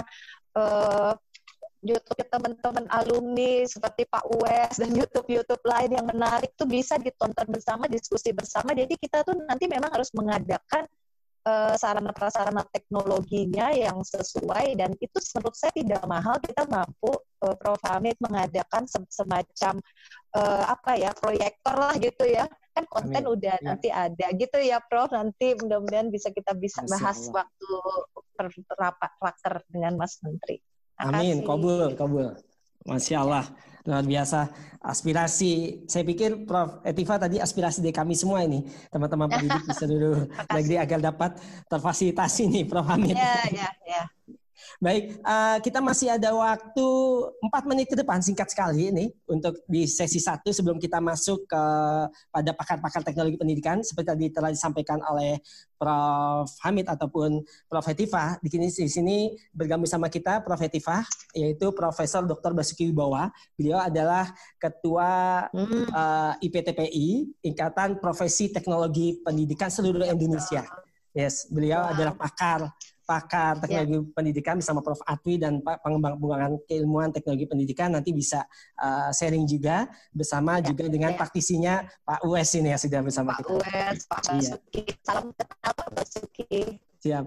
Uh, izin Prof, ini ada yang ada pertanyaan sedikit aja terkait dengan legislasi ya. Uh, dari Dr. Loa Jazuli, apa tanggapan pemerintah eksekutif ataupun legislatif dengan pernyataan bahwa pandemik uh, COVID-19 sedang menguji posisi negara kita dalam revolusi industri 4.0. Itu dari Pak uh, uh, Zazuli dan yang terakhir mungkin uh, ini dari lewat apa? Uh, pendidikan bagaimana uh, ya. Oh ya ini masih hampir sama tentang regulasi regulasi uh, pengembang atau bagaimana pemerintah mempersiapkan tadi sebenarnya hampir sama ini ya uh, dari pertanyaan dari gua dari gua ya, uh, ya. Itu, uh, tentang bagaimana penyiapan infrastruktur yang kalau memang COVID ini berlanjut lama sampai akhir tahun. Mungkin ini untuk Prof. Hamid dulu ya. Silakan Prof. Hamid sebelum ke Ibunda Prof. Hetifa, kami persilakan Prof menanggapi tentang pertanyaan nih. Apa skema yang sudah disiapkan selain tadi yang setelah dipaparkan oleh Prof? Ketika infrastrukturnya kan tentunya tidak sekejap nih, kata teman-teman. Uh, antisipasinya seperti apa? Silakan Prof.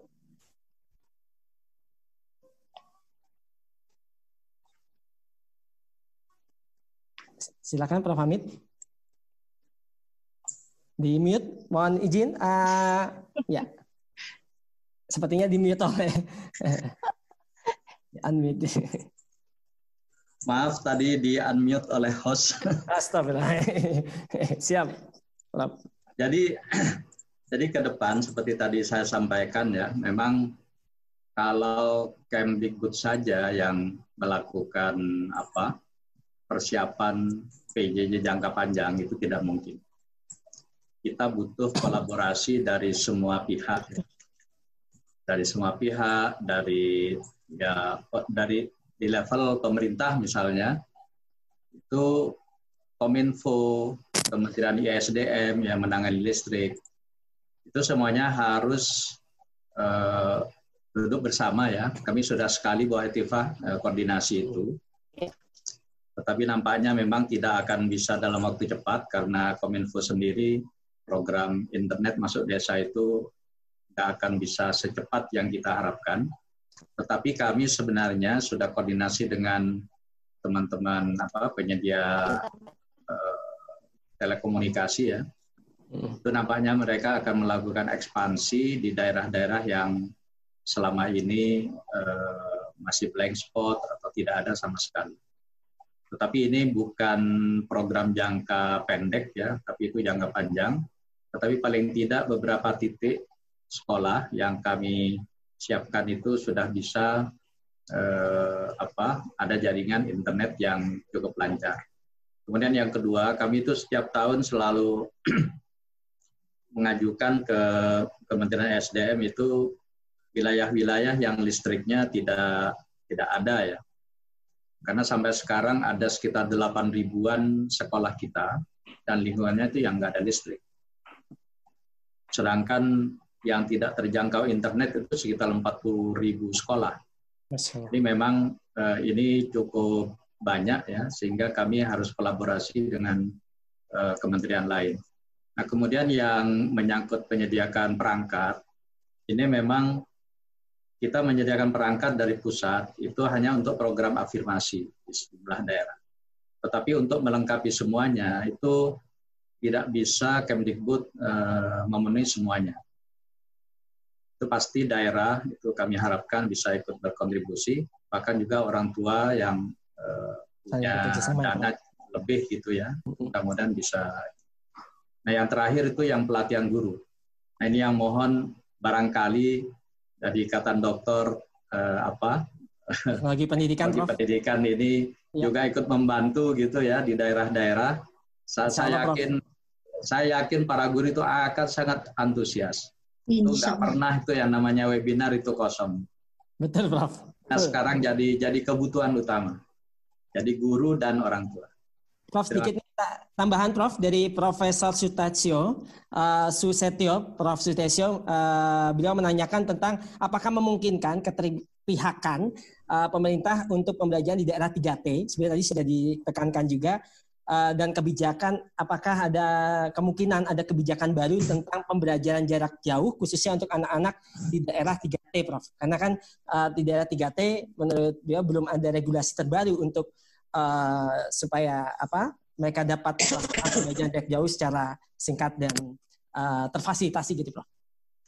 Sekarang yang sedang sedang kami siapkan itu pembelajaran melalui RRI atau radio lokal, radio komunitas. Ya. Jadi hanya itu yang sekarang kami siapkan. Tetapi kalau misalnya ada masukan lain, pasti kami akan uh, dengan senang hati menerima. Jadi kasih, yang sudah kami laksanakan itu di Sanggau, kemudian di Halmahera Selatan, kemudian ada di NTT beberapa, itu sudah sudah apa uh, bisa dilaksanakan ya. Dan guru itu bergantian mengajar di RRI. Ya, Jadi, terima kasih. Kasih. Luar biasa. Terima kasih Prof. Hamid. Silakan Prof. Hetifah.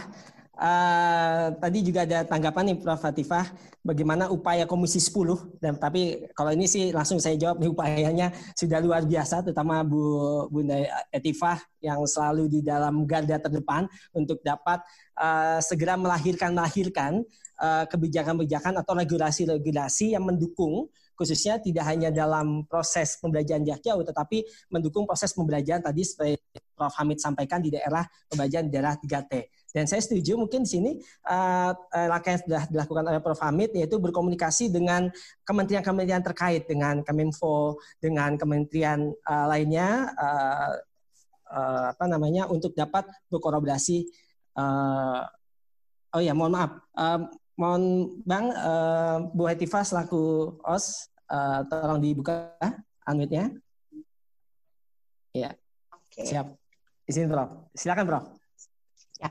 Jadi pertama terutama tadi dari Prof. Jazuli dan juga teman-teman uh, lain Pak Susetyo, saya prinsipnya akan mendukung ya apa yang Prof. Hamid uh, sedang persiapkan dari sisi tentunya regulasi atau legislasi dan uh, anggaran gitu semampu kita. Tapi kalau misalnya sekarang kita perhatikan sebenarnya kita cukup bagus ya uh, ada ada legislasi baru yang teman-teman sudah dengar juga kita punya undang-undang sisnasiptek ya Pak uh, Prof Hamid ya tentang teknologi. Jadi ke depan memang teknologi policy untuk bangsa Indonesia ini harus lebih tegas kembali gitu, termasuk polisi teknologi di bidang pendidikan dan ini tidak bisa hanya dua menteri berkomunikasi misalnya di dengan Kemenkominfo karena ini membutuhkan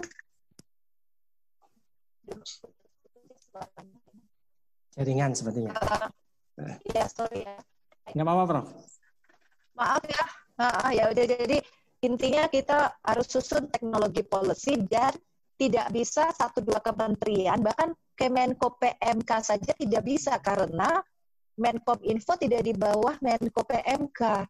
Jadi oh, harus iya. ada mungkin presiden turun langsung atau wapres gitu. Kalau kita mau men menyusun satu teknologi policy yang lebih advance di dunia pendidikan dan itu akan berimpact kepada semua kementerian terkait termasuk Ristek Dikti dan BRIN termasuk Kemendikbud, termasuk Kominfo, uh, dan juga uh, mungkin kementerian lainnya, gitu. Tapi terima Baik. kasih ya masukannya semuanya bagus bagus biasa, sekali ya Prof Hamid. Nanti kita diskusikan ini hasilnya. Amin. Prof mungkin izin uh, setelah ini kami juga akan coba membuat uh, semacam press release Prof uh, atau kesimpulan dari teman-teman.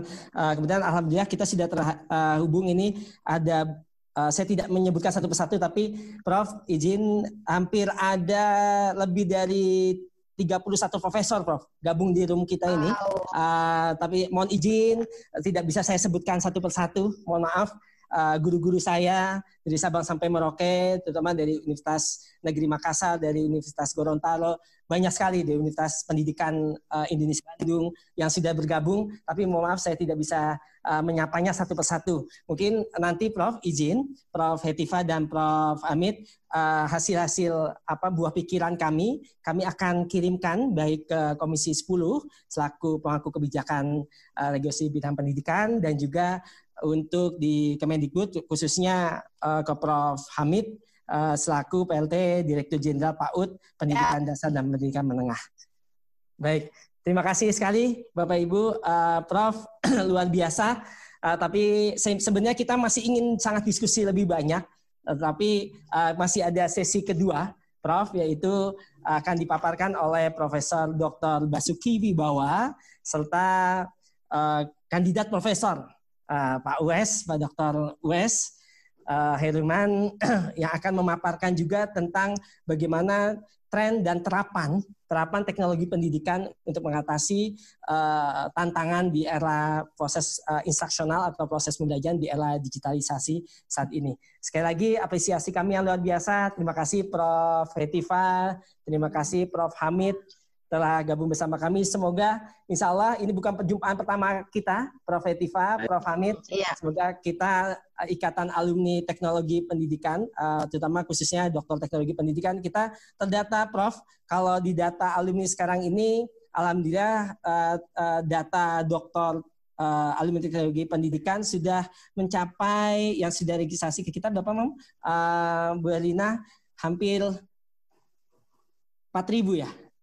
Wow. Hampir Luar ya, karena kita sejak di Universitas Negeri Jakarta ini sejak 1978, Prof. Jadi ini adalah seperti uh, Pak Rektor sampaikan, prodi teknologi pendidikan khususnya program doktor ini adalah program ibunya dari pasca sarjana pendidikan yang ada di Universitas Negeri Jakarta. Baik, terima sekali lagi terima kasih Prof. Hetiva. Terima kasih. Serta Prof. Hamid. Tapi sebelumnya uh, sedikit saja Prof. Hamid, Prof. Etiva uh, mungkin masing-masing boleh satu menit satu menit, Prof, untuk closing statement, Prof, untuk dapat menyemangati kami semua para teknologi teknologi pendidikan, baik profesor ataupun dokter-dokter yang ada di room ini, Prof. Mohon izin, Prof. Satu menit, Prof. Baik, terima kasih pada uh, rekan-rekan semuanya di Ikatan Dokter Alumni Teknologi Pendidikan. Saya terus terang senang diundang dalam forum ini. Uh, saya sudah sebagian baca ya beberapa chat yang ada di sini. Mudah-mudahan nanti saya akan lebih banyak uh, masuk di YouTube ya untuk melihat uh, apa yang dikomentari oleh teman-teman semuanya. Tapi harapan kami seperti tadi, mohon kalau ada karya-karya yang bagus ya, uh, kalau bisa bisa kita share ya. Kalau di Kemdikbud itu ada dua, satu di rumah belajar, satunya itu di guru berbagi. Jadi ada program guru berbagi, di situ disampaikan itu pasti akan menjadi bahan yang bagus untuk uh, sumber pembelajaran bagi, bagi para guru. Sekali lagi terima kasih uh, Mas Bom ya Amin. atas undangannya. Mudah-mudahan nanti kita bisa berjumpa, berjumpa kembali. Amin, amin. Insya Allah saya jumpa di UNJ, Prof. ya, baik. Makasih. Dan semoga, Prof, uh, doakan semoga nanti ke depan untuk dirjen-dirjen selanjutnya adalah uh, berlatar belakang dokter teknologi pendidikan, Bro. Amin. Baik, insya Allah. Ini calon-calonnya udah banyak nih, Prof, nanti di sini, Prof. Amin, siap, siap, Prof. Silakan Bu Etiva, Prof Etiva untuk memberikan satu menit untuk motivasi dan semangat. Iya. Mohon maaf ya walaupun kondisi internet tidak stabil, tapi saya ingin mengemukakan kebahagiaan saya karena pada hari ini saya mendapatkan banyak pengayaan dari Prof. Hamid dan juga semua narasumber termasuk Pak Rektor dan juga uh, saya insya Allah akan mengikuti uh, sesi berikutnya. menjadi audisi yang berharga untuk kami di Jakarta. Terima kasih. Assalamualaikum warahmatullahi wabarakatuh. Waalaikumsalam warahmatullahi wabarakatuh. Teman-teman kita berikan aplaus yang luar biasa kepada kedua keynote speaker kita. Terima kasih Prof. Hamid, Prof. Fetifah. Baik teman-teman, uh, kita akan masuk ke sesi kedua, yaitu sesi terapan ini yang akan kita, yang sangat kita nantikan juga, teman-teman. Bagaimana ten peluang serta tantangan dalam hal praktis, dalam uh, bagaimana sih kita selaku uh, guru, selaku facilitator training, uh, selaku improving performance, selaku uh, uh, tenaga pendidik, ya kita dapat menghadapi uh, bonus demografi Indonesia dan terutama dalam tantangannya di abad 21 dan saat ini uh, kita sudah terhubung bersama Profesor Dr. Basuki Wibawa.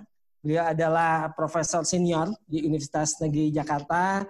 Beliau uh, termasuk uh, guru besar kami. Dan terutama saya sangat bangga sekali karena beliau adalah promotor disertasi saya sehingga saya cepat lulus dengan baik, uh, saya sedikit perkenalkan karena waktunya mohon izin. Uh, teman-teman saya sebenarnya ingin perkenalkan banyak sekali CV-nya karena beliau adalah uh, kalau di UNJ termasuk uh, penulis untuk uh, artikel terindeks Scopus terbanyak dan uh, terfavorit gitu ya di Universitas Negeri Jakarta. Uh, Profesor Dr. Basuki Wibawa uh, sempat menjadi atau mantan dekan Fakultas Teknik dua periode yaitu tahun 2005 sampai 2013 ya Prof ya. Serta ada banyak jabatan-jabatan yang diampu di Pasca Sarjana Universitas Negeri Jakarta serta yang paling menarik juga selain beliau adalah pakar, beliau juga merupakan uh, praktisi juga, ya Prof. Karena uh, kalau teman-teman, terutama teman-teman di daerah Jakarta, Bekasi, Bogor sekitarnya ada banyak sekolah-sekolah buatan beliau. Ya, jadi masuknya apa nih Pak? Pengusaha atau uh, apa namanya? pengusaha ya Pak. Tim pengembang, pengembang-pengembang sekolah yang luar biasa, sekolah yang beliau uh, telah uh, hasilkan seperti itu. Baik, uh, kemudian uh, Prof. Uh, Profesor Basuki Wibawa akan coba memaparkan teman-teman di sini mohon izin uh, kami persilakan Prof. Uh, Prof. Basuki Bawa tentang bagaimana sih peluang atau tren sekarang setelah tatapannya baik secara konseptual learning gitu ya ataupun praktis di lapangan. Kepada Profesor Dr. Basuki Bawa ayahanda kami, kami persilakan. Silakan Prof. Terima kasih Mas Bambang. Ya, Prof. Mohon izin eh, teman-teman, uh, slide boleh? Iya, di share ya. Izinkan saya nyapa dulu yang yang yang mulia Bu Etiva ya. Salam kenal ya. uh, teman-teman hadirin di ruang maya semuanya apa kabar? Halo. Alhamdulillah sehat Prof. Ya. Jadi saya, baik kalau sehat. Sehat-sehat semua ya. Alhamdulillah. Alhamdulillah. Saya mencoba menyampaikan secara singkat saja permintaan panitia. Ya, ini ini sebetulnya ibarat sisi mata uang, di satu sisi musibah, di sisi lain banyak banyak tantangan dan peluang. Ya. Nah, pertama di era pandemik COVID-19 ini memang dasar sekali dampaknya, ya orang kaya tiba-tiba jadi miskin ya. ya guru-guru yang biasa sejahtera mudah-mudahan tetap sejahtera ya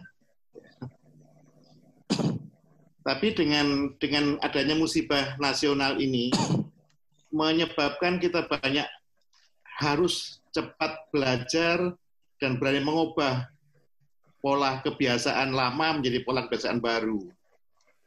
Karena cakupan pandemi COVID ini sangat besar sekali. Saya coba uh, mulai uh, impact-nya ke pendidikan, pembelajaran, sampai ke dunia diklat di perusahaan dan impact-nya di dunia bisnis yang lain. Dan ini semua uh, menuntut adanya model-model pembelajaran baru, model-model strategik baru untuk membuat langkah-langkah strategik apa yang harus dilakukan di era normal baru? Karena saya lihat setelah dua bulan uh, COVID ya, Pak. Merasakan COVID ini sudah mulai terbiasa hidup dengan era normal baru. Ke mana-mana harus pasang masker, berjarak, dan saya mulai merasa lebih senang di rumah. Ya. Karena penghasilan nggak berkurang, pengeluaran bisa diatasi ya, tetap di rumah. Masya Allah. ya. Nah, ini yang yang menyebabkan teman-teman eh, saya ingin mengajak bagaimana pembelajaran daring di era COVID ini. Ya, tapi mencoba melihat dari aspek Eh, catatan-catatan yang dialami oleh guru, dosen, dan para mentor atau media suara di, di perusahaan. Ya. Lanjut. Nah, ini yang saya ingatkan. Kalau kita ngikutin paradigma pembelajaran daring, maka orientasinya kita fokus ke siswa. Tapi juga kita mempertimbangkan ketersediaan teknologi dan ketersediaan eh, kemampuan eh, latar belakang input siswa kita, latar belakang ekonomi kita. Ya.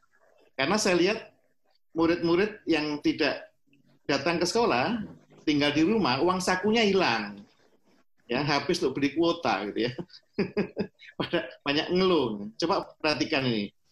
Di era daring, kita atau murid harus dipaksa ya atau guru harus dipaksa untuk menyiapkan layanan-layanan elektronik, pemberian tugas elektronik, pemberian eh, rangkuman eh, perkuliahan atau pembelajaran secara elektronik, perpustakaan elektronik, atau diktat elektronik, dan sebagainya. Permasalahannya, di Indonesia ini aneh. Buku-buku elektronik dari SD, SMP, SMA, SMK bahkan perguruan tinggi banyak tersedia, tapi anehnya masih senang dicetak lagi.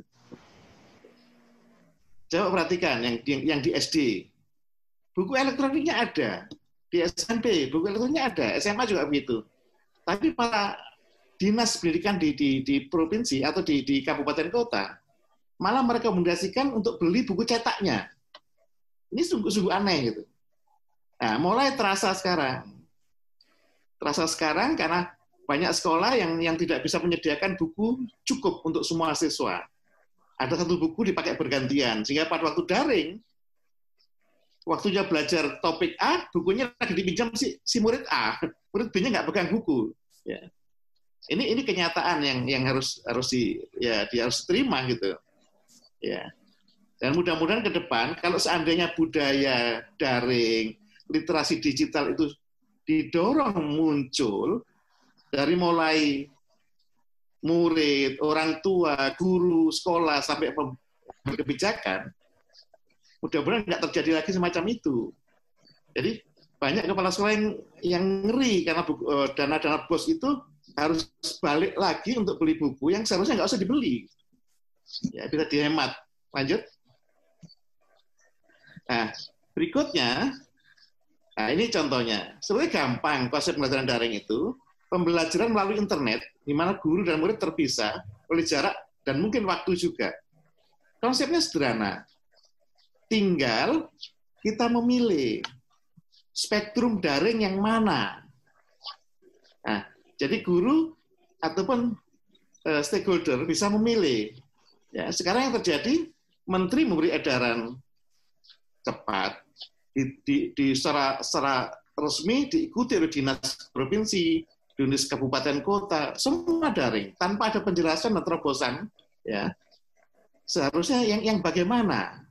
Nah ini yang yang harus dipertanyakan ya teman-teman TP. Apa yang bisa dilakukan, yang dilakukan oleh teman-teman TP, oleh sekolah, oleh guru, oleh dinas provinsi kabupaten kota dan Kemendikbud sekaligus, termasuk anggota dewan yang mulia, ya jadi eh, jangan sampai seperti saat ini tiba-tiba guru jadi aktor utama gitu. Lanjut. Ini ini ini contoh. Saya coba dibantu oleh mahasiswa untuk menelusuri selama lima tahun terakhir ini ada 8.840 artikel yang dimuat di jurnal terindeks Scopus. Kita lihat banyak sekali peneliti di dunia ini yang masih meneliti tentang eh, pembelajaran daring trennya. Yang lebih mengagetkan kecenderungan itu malah muncul banyak dimuat di jurnal-jurnal yang belum terindeks atau baru terindeks yang non key, n key itu ya. ya. Sudah udah trennya tinggi, semangat dari teman-teman penulis atau peneliti baru yang mempublikasikan artikelnya di jurnal yang baru terindeks sehingga belum muncul di scopus.com. Sayangnya saya belum sempat meneliti yang di Springer yang belum belum termuat misalkan di di mana Thomson Reuters atau di ISI atau sistem indeks yang lain. Tapi setidaknya dari data artikel yang dimuat di Simago JR ada 8.840 nah bisa digambarkan semacam ini. Jadi teman-teman yang yang melaksanakan daring atau sedang meliti pembelajaran daring, mencari inovasi-inovasi baru tentang pembelajaran daring, saya kira ini bukti bahwa trennya masih bagus. Ya. Nah, kalau berikutnya nanti Bapak Ibu bisa melihat bagaimana sebarannya. Ya. Nah, sekarang ini, nah, pada waktu Pak Menteri atau Mas Menteri mengeluarkan edaran pembelajaran daring di era COVID itu, ya, ya itu pilihan-pilihan yang yang saya kira yang berani, pilihan yang mungkin paling gampang dijangkau dan paling uh, saya lihat ya untuk sementara nggak butuh uh, investasi banyak gitu ya. Walaupun sudah berbuat banyak. Kita lihat misalkan Betul. input muridnya, karakteristik muridnya, karakteristik sekolahnya, karakteristik daerahnya beda-beda gitu. Sehingga pada saat saya membaca edaran Mas Menteri tentang penerapan pembelajaran daring, ya sudah bisa ditebak gitu loh. Ketuntasan belajar akan jadi masalah. Ya.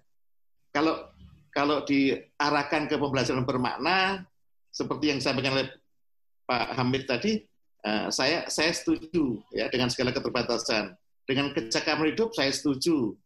Tapi faktanya Pak Hamid tadi datanya menunjukkan ada 57 persen sekolah di Indonesia yang yang tetap mengejar ketuntasan belajar.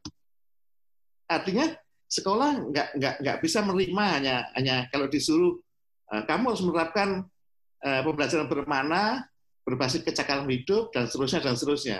Dia tetap ingin memberikan layanan yang maksimum. Nah, pembelajaran daring dari awal memang bisa diduga nggak akan bisa memuaskan semua pihak, nggak akan bisa menuntaskan, ya. Jadi keputusan belajar jadi korban yang yang dari awal sudah sudah kita duga karena input muridnya beda-beda. Ada sekolah yang sudah punya jaringan listrik, tapi sehari mati tujuh kali. Ada sekolah yang sudah punya jaringan internet, yang yang nggak punya masih banyak. Di di gedung dewan yang terhormat saja jaringannya bisa nggak stabil misalkan. itu mengagetkan ya. saya ya. Jadi benar nggak Prof? Prof Eti. Jadi eh, bagaimana dengan kalau saya ngajar di NTT sehari mati tujuh kali gitu. Jadi nggak nggak nggak bisa pakai lagi PPT dan sebagainya begini. Di daerah lain juga juga begitu. Sehingga saya lebih suka sekarang uh, semedi di rumah ya. ya. Bagaimana caranya tetap di rumah tapi tetap sejahtera gitu ya. ya. Nah, kita kita lihat misalkan. Kalau inputnya sudah kita sadari, proses pembelajarannya dari gambar sederhana ini kita sudah sudah bisa duga kalau mau pembelajaran daring itu efektif, kita lihat harusnya awal Maret itu guru-guru di sekolah, mungkin di kabupaten kota, provinsi, cepat workshop untuk me menyesuaikan RPS. Sampai hari ini saya lihat guru-guru masih RPS lama. Harusnya langsung cepat menyesuaikan. Tidak bisa pakai RPS awal. Kita harus pakai RPS era normal baru, era COVID. Hanya materi-materi esensial yang yang harus di, di, difokuskan. Saya kira itu yang yang mungkin bisa nah, kalau RPS-nya tidak disesuaikan ya kayak memindahkan belajar sekolah pindah ke rumah dan itu jangan sampai terjadi ya jadi tetap saja ada porsi belajar mandiri nah permasalahannya pembelajaran daring nggak cukup dengan daringnya tapi murid mahasiswa harus punya sumber belajar. Apakah itu e-modul atau modul biasa di rumah, atau buku referensi, atau buku kasus, atau ringkasan PPT, PowerPoint dari dosen atau guru. Ya, rangkuman awal gitu. Nah, kalau bahan ajarnya atau sumber belajarnya nggak kita siapkan, itu baru pesannya saja. Padahal kalau tatap muka, sumber belajar kan bisa lingkungan, bisa orang ahli teknik, pesan dan, dan sebagainya, sebagai pesan-pesan material materi-materi pembelajaran itu kan banyak sumber belajarnya. Kalau, kalau dengan daring kita sadar bahwa sumber belajarnya emang udah udah nggak maksimal gitu. RPS-nya harus tetap cepat disesuaikan. Ya. Perpustakaan digitalnya juga harus cepat disesuaikan. Ya. Misalkan cepat menyiapkan dan sebagainya dan sebagainya di guru-guru. Nah, yang kedua, dengan edaran pembelajaran daring ini kasihan yang sekolah menengah kejuruan. Kasihan SMA, SMA yang banyak praktikumnya. Nggak tercapai. Nah, nanti ada harus ada terobosan program tambahan di semester berikutnya, andekan COVID lalu. Karena kalau enggak, kasihan muridnya. Contoh misalkan SMK yang ujian tahun ini, itu program sertifikasinya hilang. Ujian prakteknya hilang, tapi dia tetap lulus. Jadi surat ijazah, pendamping ijazah itu nggak, muncul. Ya, unmute by host. Ya, ini, ini kondisinya. Lanjut. Ya. Nah, berikutnya, oke lanjut ini, ini kalau teman-teman yang mau meneliti, itu banyak variabel penelitian yang terkait dengan daring. Ya. Sebetulnya hasil penelusuran saya cukup banyak, tapi saya tampilkan begini saja lebih, lebih sederhana. Yang tertarik bisa menghubungi saya ya. Lanjut. Mantap, Prof. Ya. Nah, lanjut. Ini perspektifnya. Ini saya coba survei terbatas, tapi di kota dengan memberikan pertanyaan kepada Eh, guru-guru anak-anak dan cucu-cucu saya. Ya.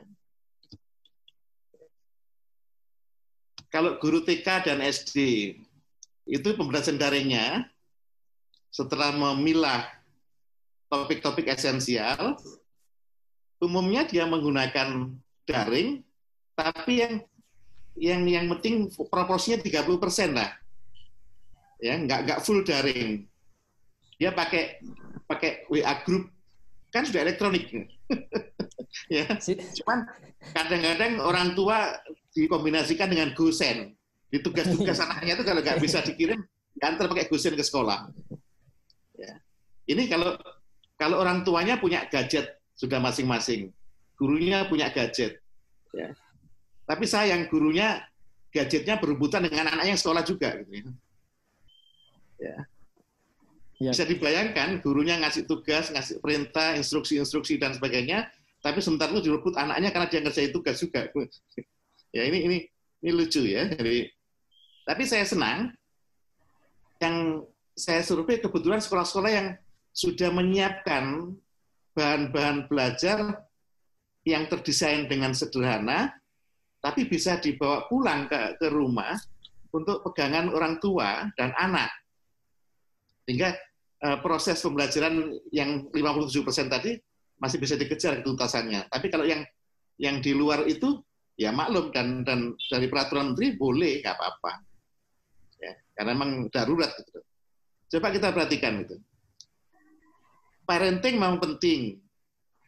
Tetapi kita lihat di kota besar banyak anak terutama TK yang tidak bisa mengerjakan kegiatan bermainnya, kegiatan-kegiatan yang terkait dengan sekolah, karena menunggu orang tuanya pulang kerja. Jadi bisa dibayangkan parenting orang tua ke anaknya itu di malam hari. Ini kebetulan orang tuanya nggak nggak kerja di rumah ini, ya masih masih banyak yang harus ke kantor. Ya. Ya, tapi kalau dia kerja di rumah aman. Ini yang yang perlu saya bilang perlu investasi baru. Misalkan menyiapkan bahan ajar, lembar permainan, lembar tugas, terus perlu investasi baru.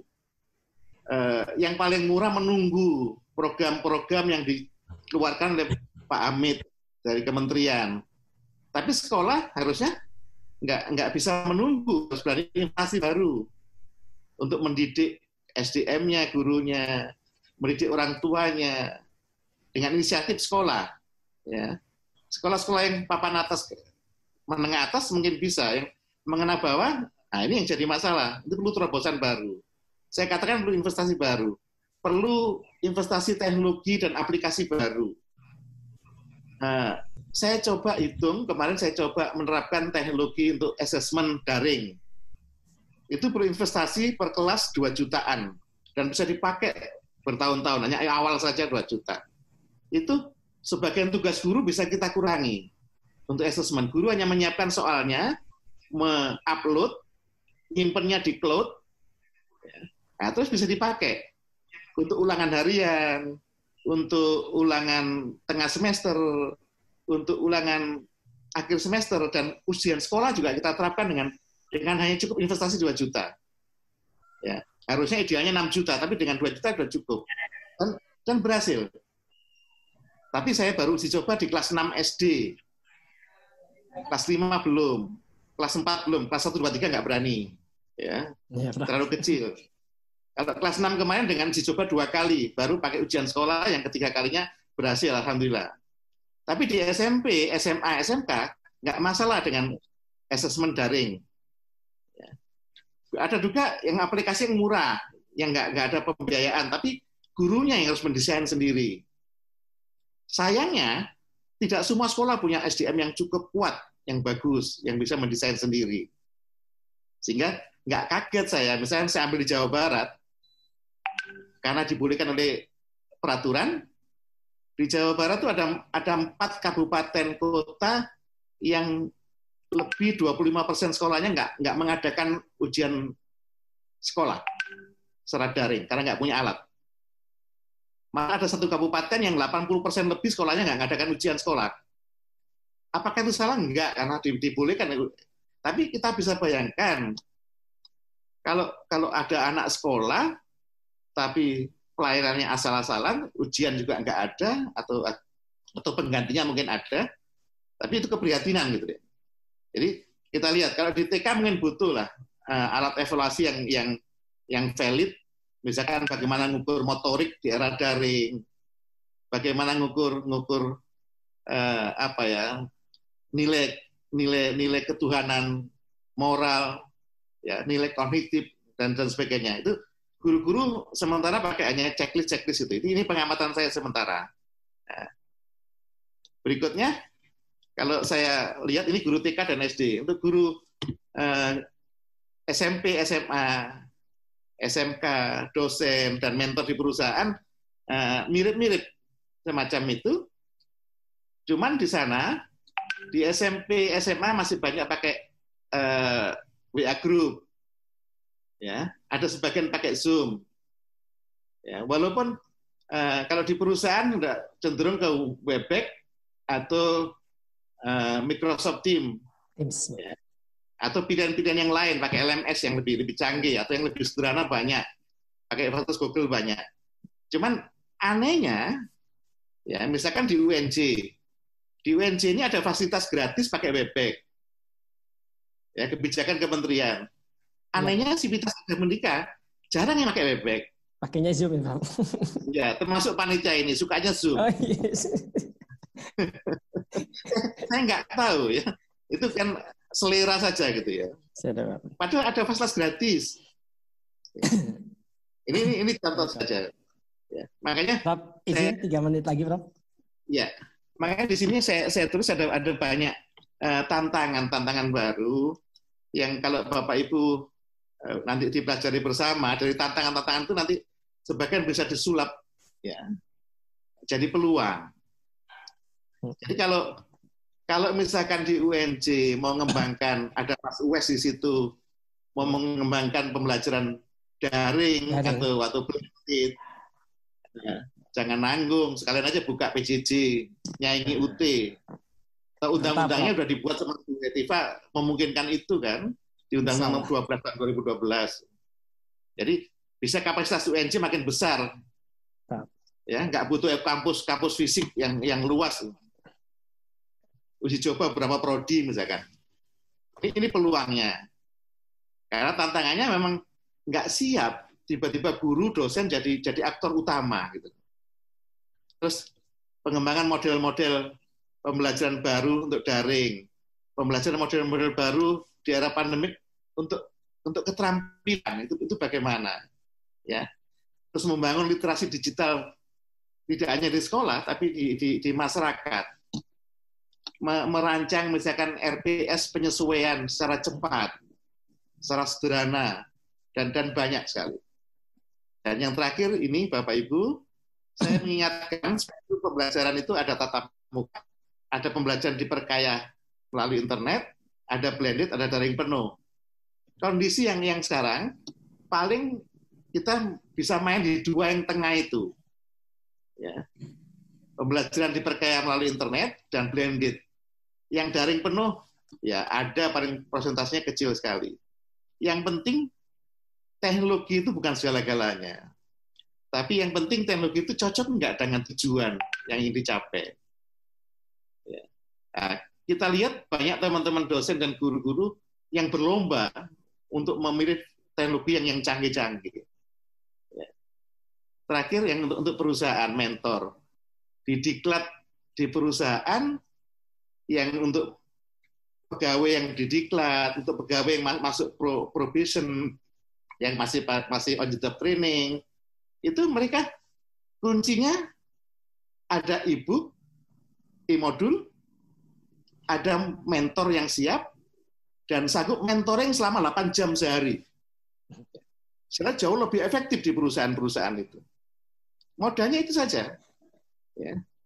Sumber belajarnya ada, terbatas, misalkan ibu, ada siswa yang direkrut dengan memenuhi syarat, ada mentor yang kuat, dan dia harus belajar 8 jam sehari selama tiga bulan kalau probation. Ada yang belajar satu tahun setengah, yang yang efektif semacam itu. Kalau seandainya itu bisa dijalankan, saya kira pembelajaran daring akan akan sangat menarik ya, ya. dari dari segi akademis maupun dari segi bisnis. Mudah-mudahan bermanfaat. Assalamualaikum. Waalaikumsalam warahmatullahi wabarakatuh. Luar biasa sekali kita berikan aplaus untuk Prof. Profesor Dr. Basuki Wibawa. Terima kasih Prof. Uh, lanjut saja uh, karena kita keterbatasan waktu. Teman-teman mohon izin uh, tadi berdasarkan hasil uh, permintaan Prof Basuki, uh, Prof Wes, di sini masih juga tergabung uh, uh, Prof Hetifah selaku Wakil Ketua Komisi 10 DPR RI. Uh, kita akan sedikit perpanjang waktu, Bapak Ibu, teman-teman, karena di banyak yang langsung chat pribadi ke saya, kalau jam 12 kayaknya masih kurang. Uh, apa namanya, terutama teman-teman di Indonesia bagian timur ini, banyak uh, berkomentar tadi di chat pribadi di room pribadi ke saya. Jadi mohon kesediaannya Prof Basuki, Pak Wes, dan teman-teman semua kita akan panjang kurang lebih sekitar 35 menit uh, ke depan uh, after pukul 12 gitu ya. Mungkin uh, kita, uh, apa namanya kita akan panjang sampai menjelang pukul satu atau sambil nanti mengalir diskusinya.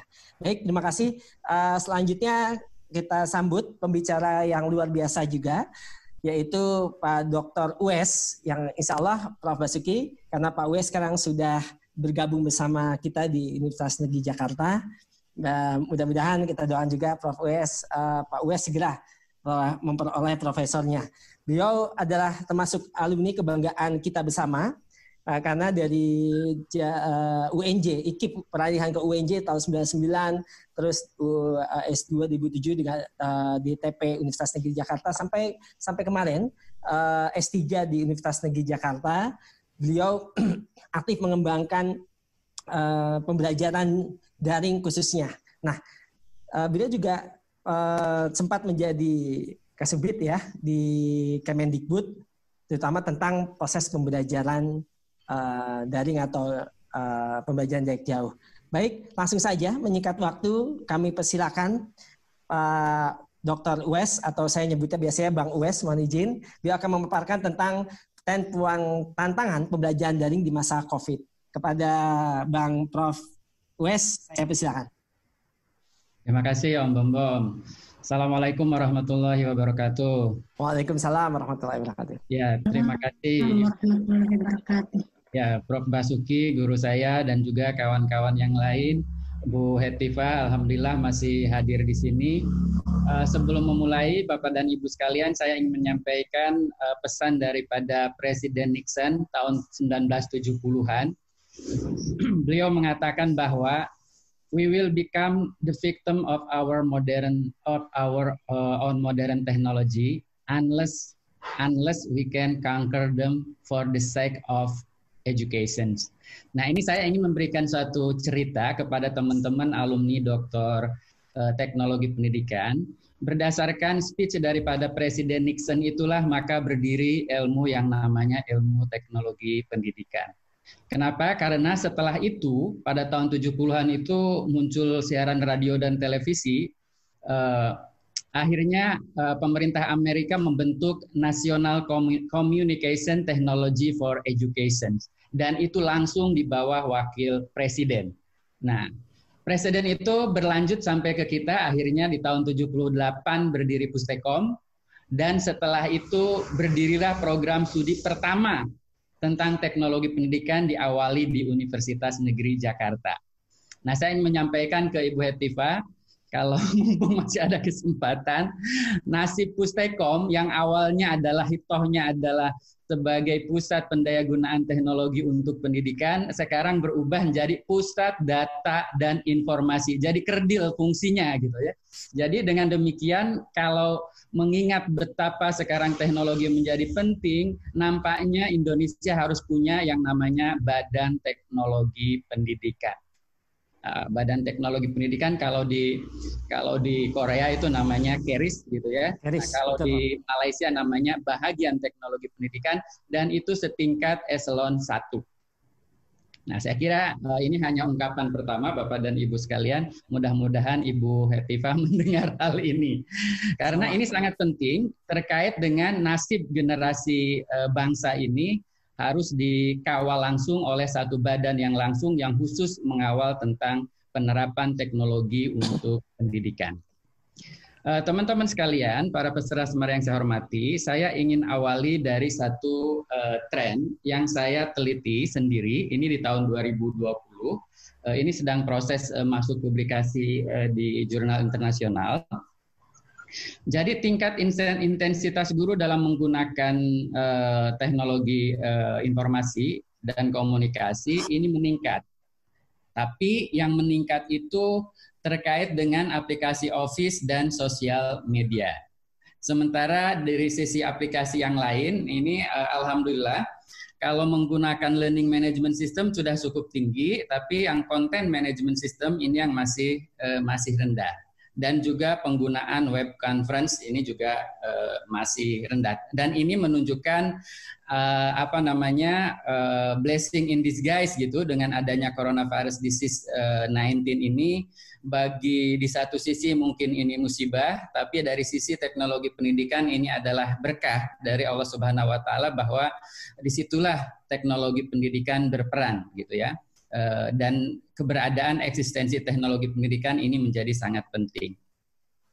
Nah, berdasarkan ini, teman-teman sekalian, saya ingin mengacu kepada dua framework saja yang dibuat oleh Ruben dan juga eh, Mark Persky itu, bahwa level adopsi teknologi informasi dan komunikasi untuk pembelajaran itu eh, dapat kita golongkan ke dalam dua golongan besar yaitu enhancement dan juga transformation. Nah, yang enhancement ini Bapak dan Ibu sekalian, itu levelnya ada ada terbagi dua masing-masing yaitu substitution dan augmentation. Sementara yang transformation itu adalah modification dan redefinition. Sementara kalau menurut uh, Prensky ini tahun 2005 ini mulai dari yang enhancement itu terbagi dua, dabbling baru berkecimpung dalam dunia teknologi doing all things in old ways gitu ya mereka uh, gaya lama gitu ya menggunakan melakukan uh, digunakan untuk uh, hal yang lama dengan cara yang lama kemudian baru naik ke transformasi itu melakukan hal hal lama dengan cara yang baru atau melakukan hal baru dengan cara yang baru. Nah, di mana posisi kita sekarang ini? Bapak dan Ibu sekalian, kalau lihat dari survei tadi dan kemarin saya juga telah melakukan survei di beberapa, eh, terhadap beberapa guru dalam seminar, ternyata posisi kita dengan adanya teknologi ini masih ada di posisi doubling dan doing all things in all ways atau uh, posisinya ada di substitusi dan augmentasi gitu. Jadi ada di dua posisi ini. Contohnya apa yang namanya augmentasi atau substitusi itu? Contohnya kita menggunakan uh, web conference ini, apakah Webex atau Zoom dan lain sebagainya, tapi untuk menggantikan kuliah tatap muka. Ini di perguruan tinggi gitu ya. Nah sehingga uh, fungsi kita masih berada pada level ini. Nah sehingga Bapak dan Ibu sekalian, uh, uh, hikmah di balik musibah kita sekarang ini adalah kita tetap patut syukuri bahwa dengan adanya coronavirus disease 19 ini uh, dunia pendidikan kita berada pada level yang pertama yaitu level enhancement. Either itu di substitution atau augmentation atau doubling atau uh, doing all thing in uh, all ways gitu ya.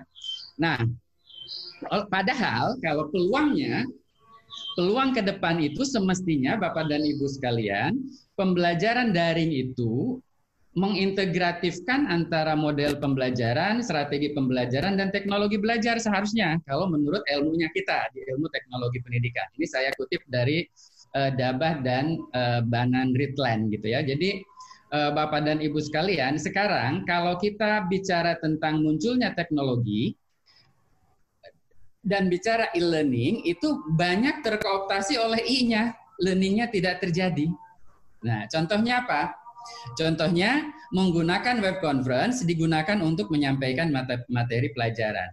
Nah, gitu. Atau misalnya kalau kita menggunakan web apa namanya web conference dengan Zoom misalnya, padahal materi pembelajarannya adalah uh, apa namanya uh, bagaimana uh, apa namanya uh, meningkatkan peran uh, komitmen dan leadership untuk apa namanya membuka startup begitu.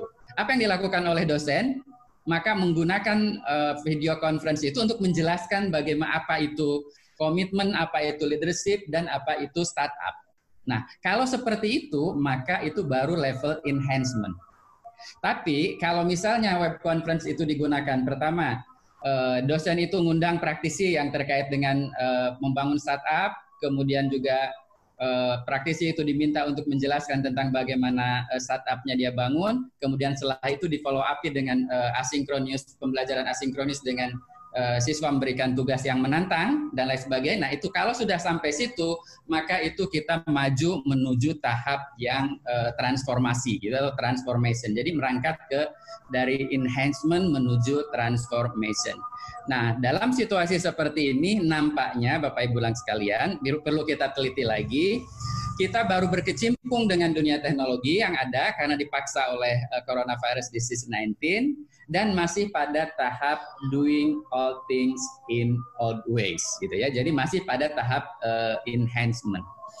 Nah, Bapak dan Ibu sekalian, yang ingin saya sampaikan di sini adalah tantangan pembelajaran daring ke depan itu terlepas dari coronavirus disease 19 atau pasca disease 19 eh, ini, maka pembelajaran di kita memang harus seperti ini karena kita berada di industri 4.0, everything on the internet dan uh, uh, semua service itu dilakukan secara physical cyber system. Sehingga tantangan pembelajaran daring ke depan adalah bagaimana kita bergerak, kita sudah punya modal sekarang ini sudah masuk ke tahap enhancement dan kita bergerak menuju transformation. Nah, untuk bergerak menuju transformation ini, Bapak dan Ibu sekalian, saya memberikan uh, uh, usulan ada lima langkah menuju level transformasi. Ya, yang pertama adalah akses internet. Ini adalah pemerataan akses terhadap internet bagi seluruh warga Indonesia atau lebih khusus seluruh warga belajar Indonesia. Dan alhamdulillah tadi Bu Tifa dan juga Pak Hamid sudah menjelaskan bahwa kita akan bekerja sama dengan uh, opera apa namanya eh, perusahaan-perusahaan operator telekomunikasi yang ada di Indonesia seperti Telkom, Indosat dan lain sebagainya. Dan ini harus kerja bareng antar kementerian gitu ya, terutama Menkom uh, Info yang memberikan uh, pemerataan akses terhadap internet. Kenapa? Kalau dulu ada pepatah mengatakan bahwa buku adalah jendela dunia, maka sekarang ini adalah internet adalah jendela dunia dan pintu pengetahuan uh, ada di situ gitu ya. Kemudian langkah yang kedua ini yang paling berat Bapak dan Ibu sekalian. Kalau langkah pertama tadi hanya koordinasi cukup selesai. Koordinasi tingkat kementerian selesai. Tapi untuk yang langkah kedua ini, mindset ini yang paling berat. Jadi perubahan pola pikir pendidik tentang belajar dan membelajarkan di era informasi saat ini. Nah, fakta menunjukkan bahwa semakin banyak guru, pendidik atau dosen menggunakan teknologi informasi seperti yang hasil penelitian tadi di atas menyatakan, tapi penggunaannya itu masih pada level enhancement antara level 1 dan level 2 belum menuju level transformation, transformation lah itu level 3 dan 4 ya. Kalau menurut uh, leveling UNESCO juga mungkin kita baru sampai satu dan dua gitu ya. Emerging dan applying, integrating dan transformingnya belum nyampe gitu ya. Kira-kira seperti itu. Nah ini yang harus kita capai itu adalah integrating dan transforming atau uh, apa namanya modification dan redefinition gitu ya. Nah ini yang harus dilanjutkan uh, oleh kita. Kemudian uh, uh, apa namanya tantangan berikutnya adalah leadership. Di sini yang paling penting adalah kepemimpinan sekolah dan atau perguruan tinggi menjadi sangat penting di sini. Termasuk kepemimpinan kepala dinas, kepemimpinan uh, tempat kantor saya dulu ya di Kemdikbud begitu dan lain sebagainya. Kemudian Kenapa? Karena uh, uh, ini perlu uh, kerja bareng untuk menuju ke sana, ngasih modeling dan lain sebagainya. Kemudian berikutnya perlu modeling. Ini adalah pentingnya agen pembaharu dan di sini adalah guru dan dosen penggerak. Kenapa? Karena kita kalau menurut teorinya yang dipelajari di kampus kita tentang difusi inovasi dari Everett Rogers itu kita harus berangkat dari innovator. Innovator itu cuma berapa persen paling ujung kiri gitu ya. Dan innovator itu yang akan mempengaruhi early adopter. Nah, early adapter itu akan mempengaruhi ter, uh, uh, apa namanya yang uh, lo, uh, apa namanya uh, majority gitu ya. Yang majority itu bisa ikut angin kiri, ikut ke kiri, ada angin barat, ikut ke barat. Nah, oleh karena itu untuk menumbuhkan inovator-inovator ini maka perlu pentingnya agen pembaharu, guru dan dosen penggerak yang dapat menjalankan proses pembelajaran menggunakan teknologi informasi dan komunikasi plus unsur-unsur pedagogik di situ ya eh, atau model-model pembelajaran di situ dari level 2 menuju 3 dan 4.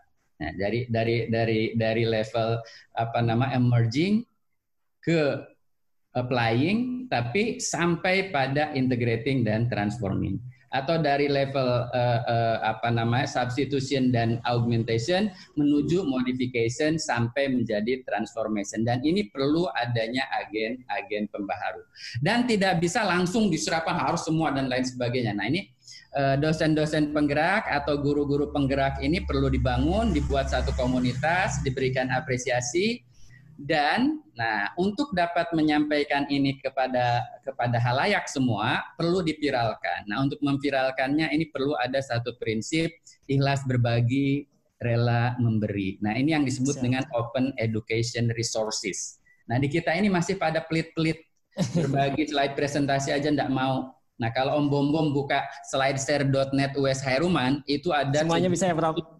700 apa eh, slide Betul. saya yang, yang bicara tentang teknologi pendidikan gitu ya. Sudah sudah saya download. Oke. Okay.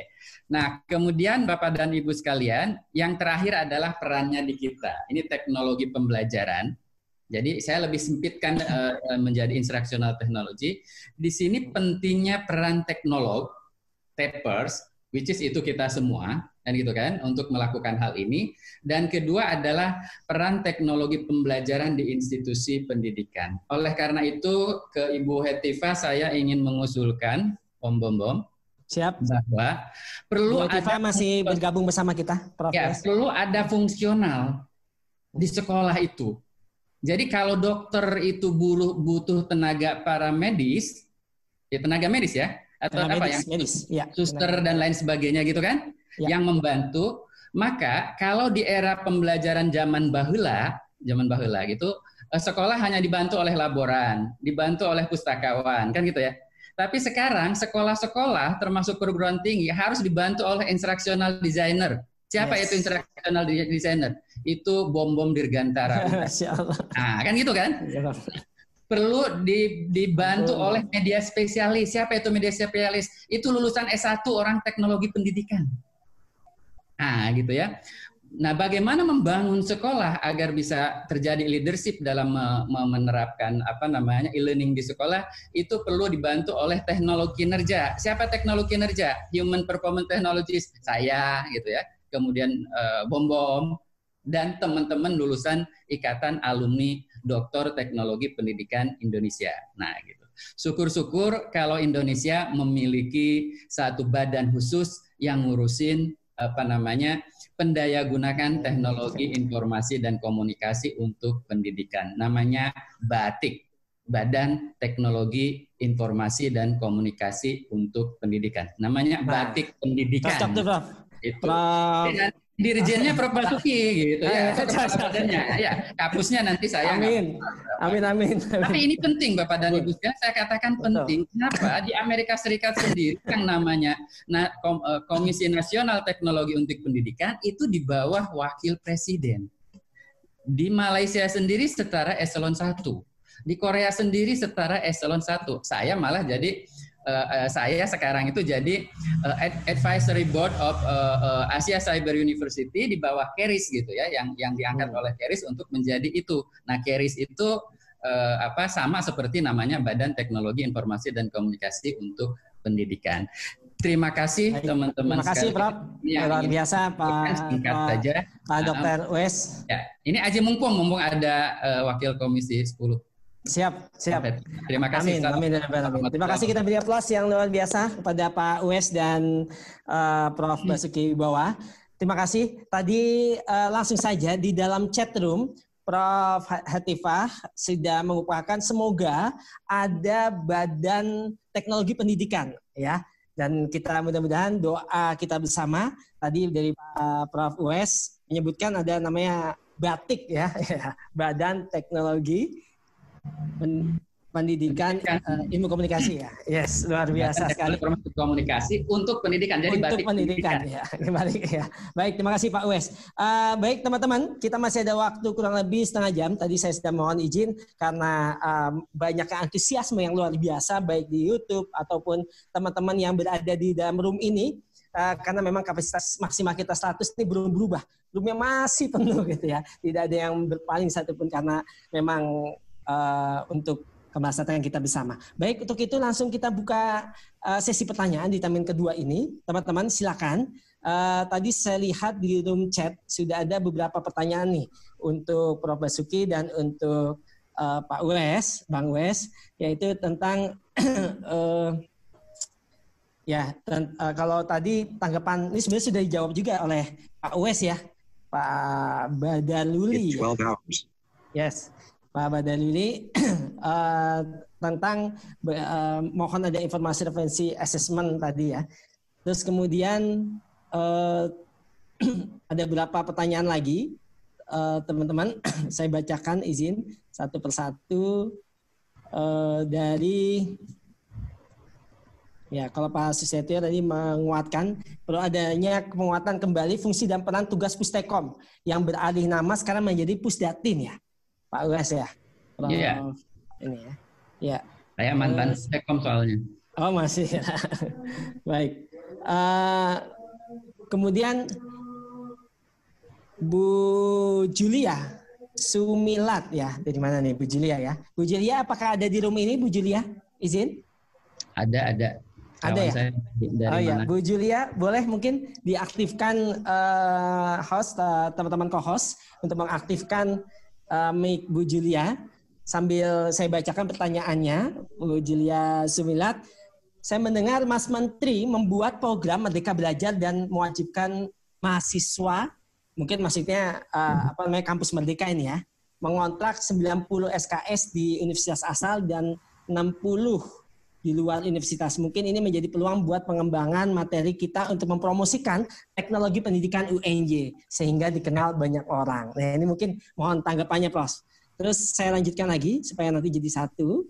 Uh, kemudian dari Pak Oh Om Jai nih, uh, Prof Wijaya Kusuma nih. Kawan saya nih. Hmm. Ya, uh, kesayangannya masih kesayangannya Prof Basuki ya. Om Jai, apakah IPTPI saat ini sudah aktif dari organisasinya? Kalau ini ntar saya yang jawab Prof ya.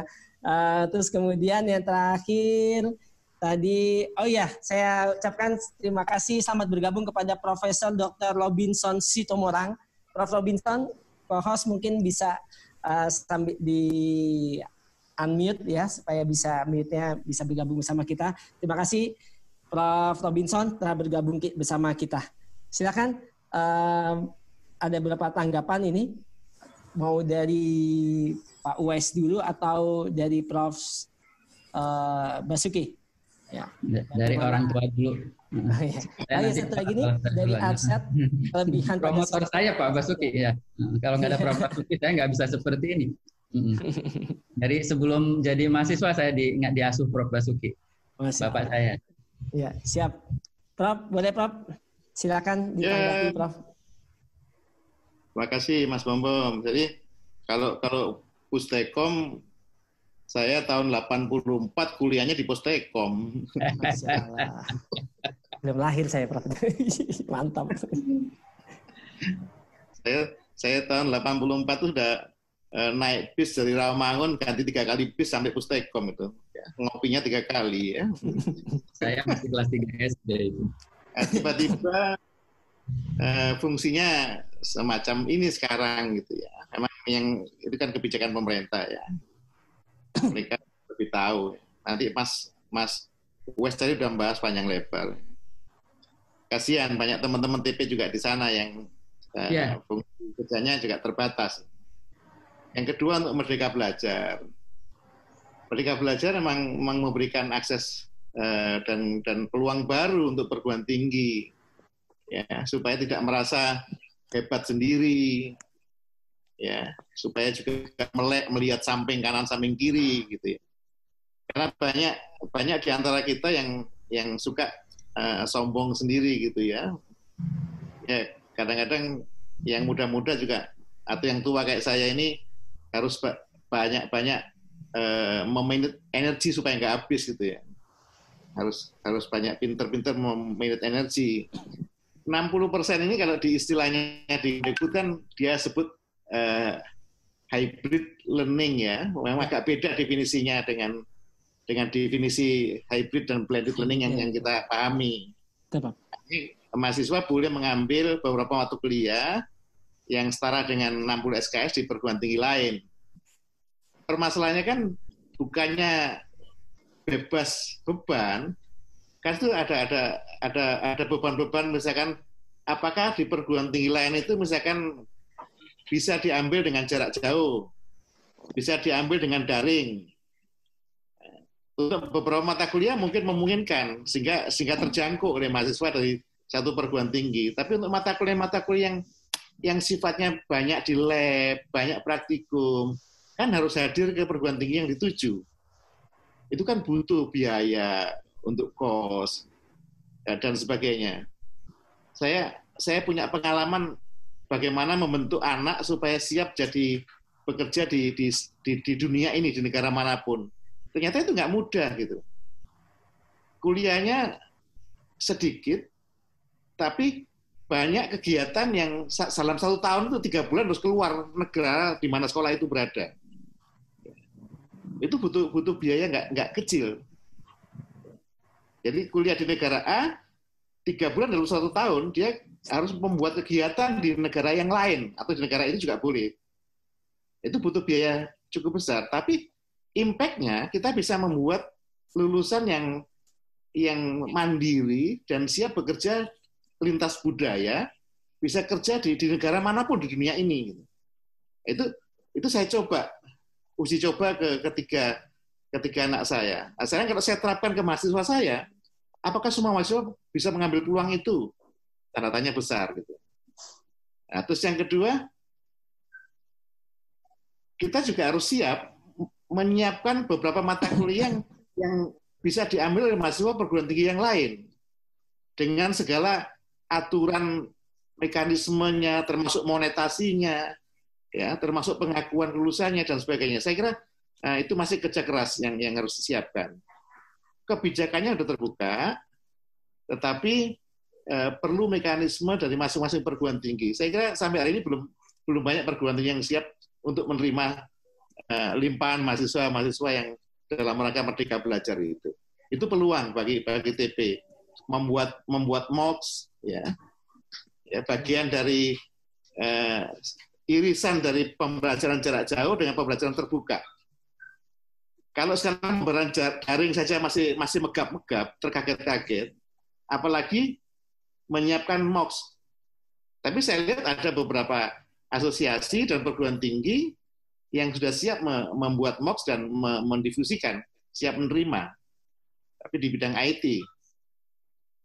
Tapi kita juga bisa mengambil misalkan MOOCs-nya MIT dari Boston.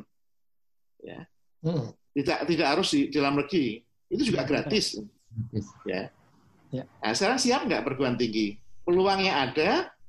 Nah, sekarang kita siap nggak? Institusi Kebetulan, kita siap nggak? Pak Rektor masih di dalam room kita nih, Prof. Sudah join oh, lagi. Iya ada ada Pak Rektor. Prof, uh, mungkin bisa langsung ditanggapi itu. Silakan ya. Lanjut Pak. Sudah, sudah lama ketemu Pak Rektor ya. Iya. Saya jalan-jalan terus ya. ya jadi Siap.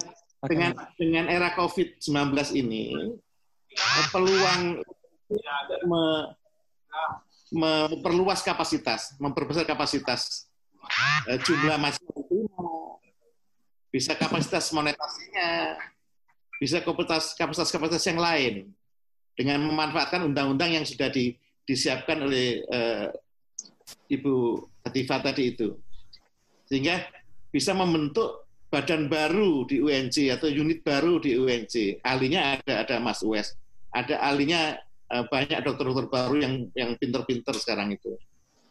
Sehingga kalau ada badan baru misalkan Eh, semacam UT-nya UNC, langsung ya. kapasitas uh, eh, UNC akan membengkak. Mantap. Ya.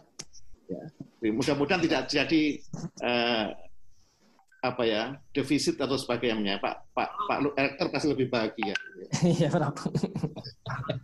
Yang kedua, menyiapkan tadi itu. Kalau misalkan unit PJJ atau di motor dari Pak Wes baru blendednya itu bisa jalan, maka Merdeka Belajar itu akan akan bisa kita laksanakan menampung dari mahasiswa perguruan tinggi lain. Sampai kita menyiapkan mahasiswa kita ke perguruan tinggi yang lain, saling hybrid yang dalam definisi uh, Direktorat Pendidikan Tinggi ya. atau Direktorat Pembelajaran ya, maksudnya ya. Nah, terus yang banyak banyak peluang-peluang yang lain. Pertanyaannya Bu Julia dari Manado itu ya. Ya, benar. Ya. Nah, untuk untuk sementara itu ya mudah-mudahan bisa bisa menjawab diskusi kita ya makasih pak terima kasih uh, Prof Basuki uh, ke Pak Uwes tapi sebelum ya. itu teman-teman jangan lupa klik uh, narasi institut uh, bisa subscribe tentang kebijakan-kebijakan publik. Dan salah satunya khusus juga untuk channel kita selain juga ada yang channel kedua juga channelnya Pak Wes. Uh, ini tadi ada tambahan pertanyaan Pak Wes sambil yeah. menanggapi yang tadi, bagaimana cara nih dari wah ini senior kita nih, Pak Prof. Wolf ya, bagaimana cara agar profesi teknologi pendidikan bisa berperan nyata di dalam dunia pendidikan di Indonesia, seperti itu. Alhamdulillah masih bergabung bersama kita, Prof uh, Komar, terus kemudian Prof Hetifah masih sangat semangat sekali. Dan ini saya yeah. tadi dapat chat katanya Pak Hamid Insya Allah karena dia tanya masih diskusi nggak masih akan masuk lagi katanya ini sebentar. Baik, ya. silakan Pak Wes. Ya, terima kasih uh, Om Bom Bom. Jadi Bapak dan Ibu sekalian terkait dengan Merdeka Belajar, uh, saya pernah menulis di Kompasiana. Jadi uh, apa namanya uh, Merdeka Belajar dari sudut pandang dari sudut pandang teknologi pembelajaran itu bukan membeba bukan hanya sekedar membebaskan guru dari RPP yang yang yang berat menjadi yang ringan dan lain sebagainya, tapi menerapkan uh, prinsip konstruksionis learning begitu yang memberikan uh, uh, yang justru itu adalah membangun karakter sebenarnya untuk menjadi pembelajar sepanjang hayat gitu ya. Nah, model-model pembelajaran yang digunakan untuk sekolah untuk pendidikan dasar dan menengah itu banyak ya. Saya di di YouTube saya silahkan bisa Bapak Ibu lihat. Ada misalnya apa tuh Prof? Channelnya boleh sekaligus dipromokan? YouTube ya cari aja Wes Heruman di YouTube klik Wes Heruman itu pasti ketemu. Nah, di antaranya adalah crossover learning misalnya. Bagaimana menjembatani antara pembela, apa namanya pengalaman informal siswa dengan pendidikan formal. Nah, itu juga bisa nyambung. Computational thinking gitu ya, on it, learn it, share it. Itu banyak sekali uh, apa namanya model-model uh, model -model pembelajaran baru yang harusnya nih teman-teman kita nih di, di, di S3TP itu mulai teliti gitu. Untuk pendidikan dasar dan menengah itu banyak sekali. Nah nanti tidak ada kaitannya dengan berteknologi atau tidak. Tidak ada. Kenapa? Karena teknologi kan hanya alat. Jadi semua bentuk strategi pembelajaran menurut Joyce and Wells atau menurut Kilben gitu ya, ada ada 14 menurut Gilben, itu bisa dilakukan dengan teknologi informasi dan komunikasi atau tanpa teknologi informasi dan komunikasi yang canggih. Sebenarnya bisa. Cuman masalahnya kenapa nggak berjalan di dalam sekarang ini? Karena mindset guru yang namanya belajar adalah menyampaikan materi, mengajar. Begitu juga dengan mindset dosen yang namanya ngajar adalah menyampaikan materi. Nah, kalau namanya ngajar menyampaikan materi, maka kita akan digantikan oleh YouTube Nah, gitu ya. Iya. Padahal menurut uh, apa World Economic Forum, salah satu profesi yang tidak akan pernah tergantikan adalah profesi guru, profesi dosen. Jika dan hanya jika mindsetnya yang namanya ngajar adalah bukan menyampaikan materi kan gitu. Nah, kalau mindsetnya adalah menyampaikan materi sama seperti ojek pangkalan yang terlibat terbilas ter, apa terlibat oleh ojek uh, online gitu ya. Nah, itu yang pertama.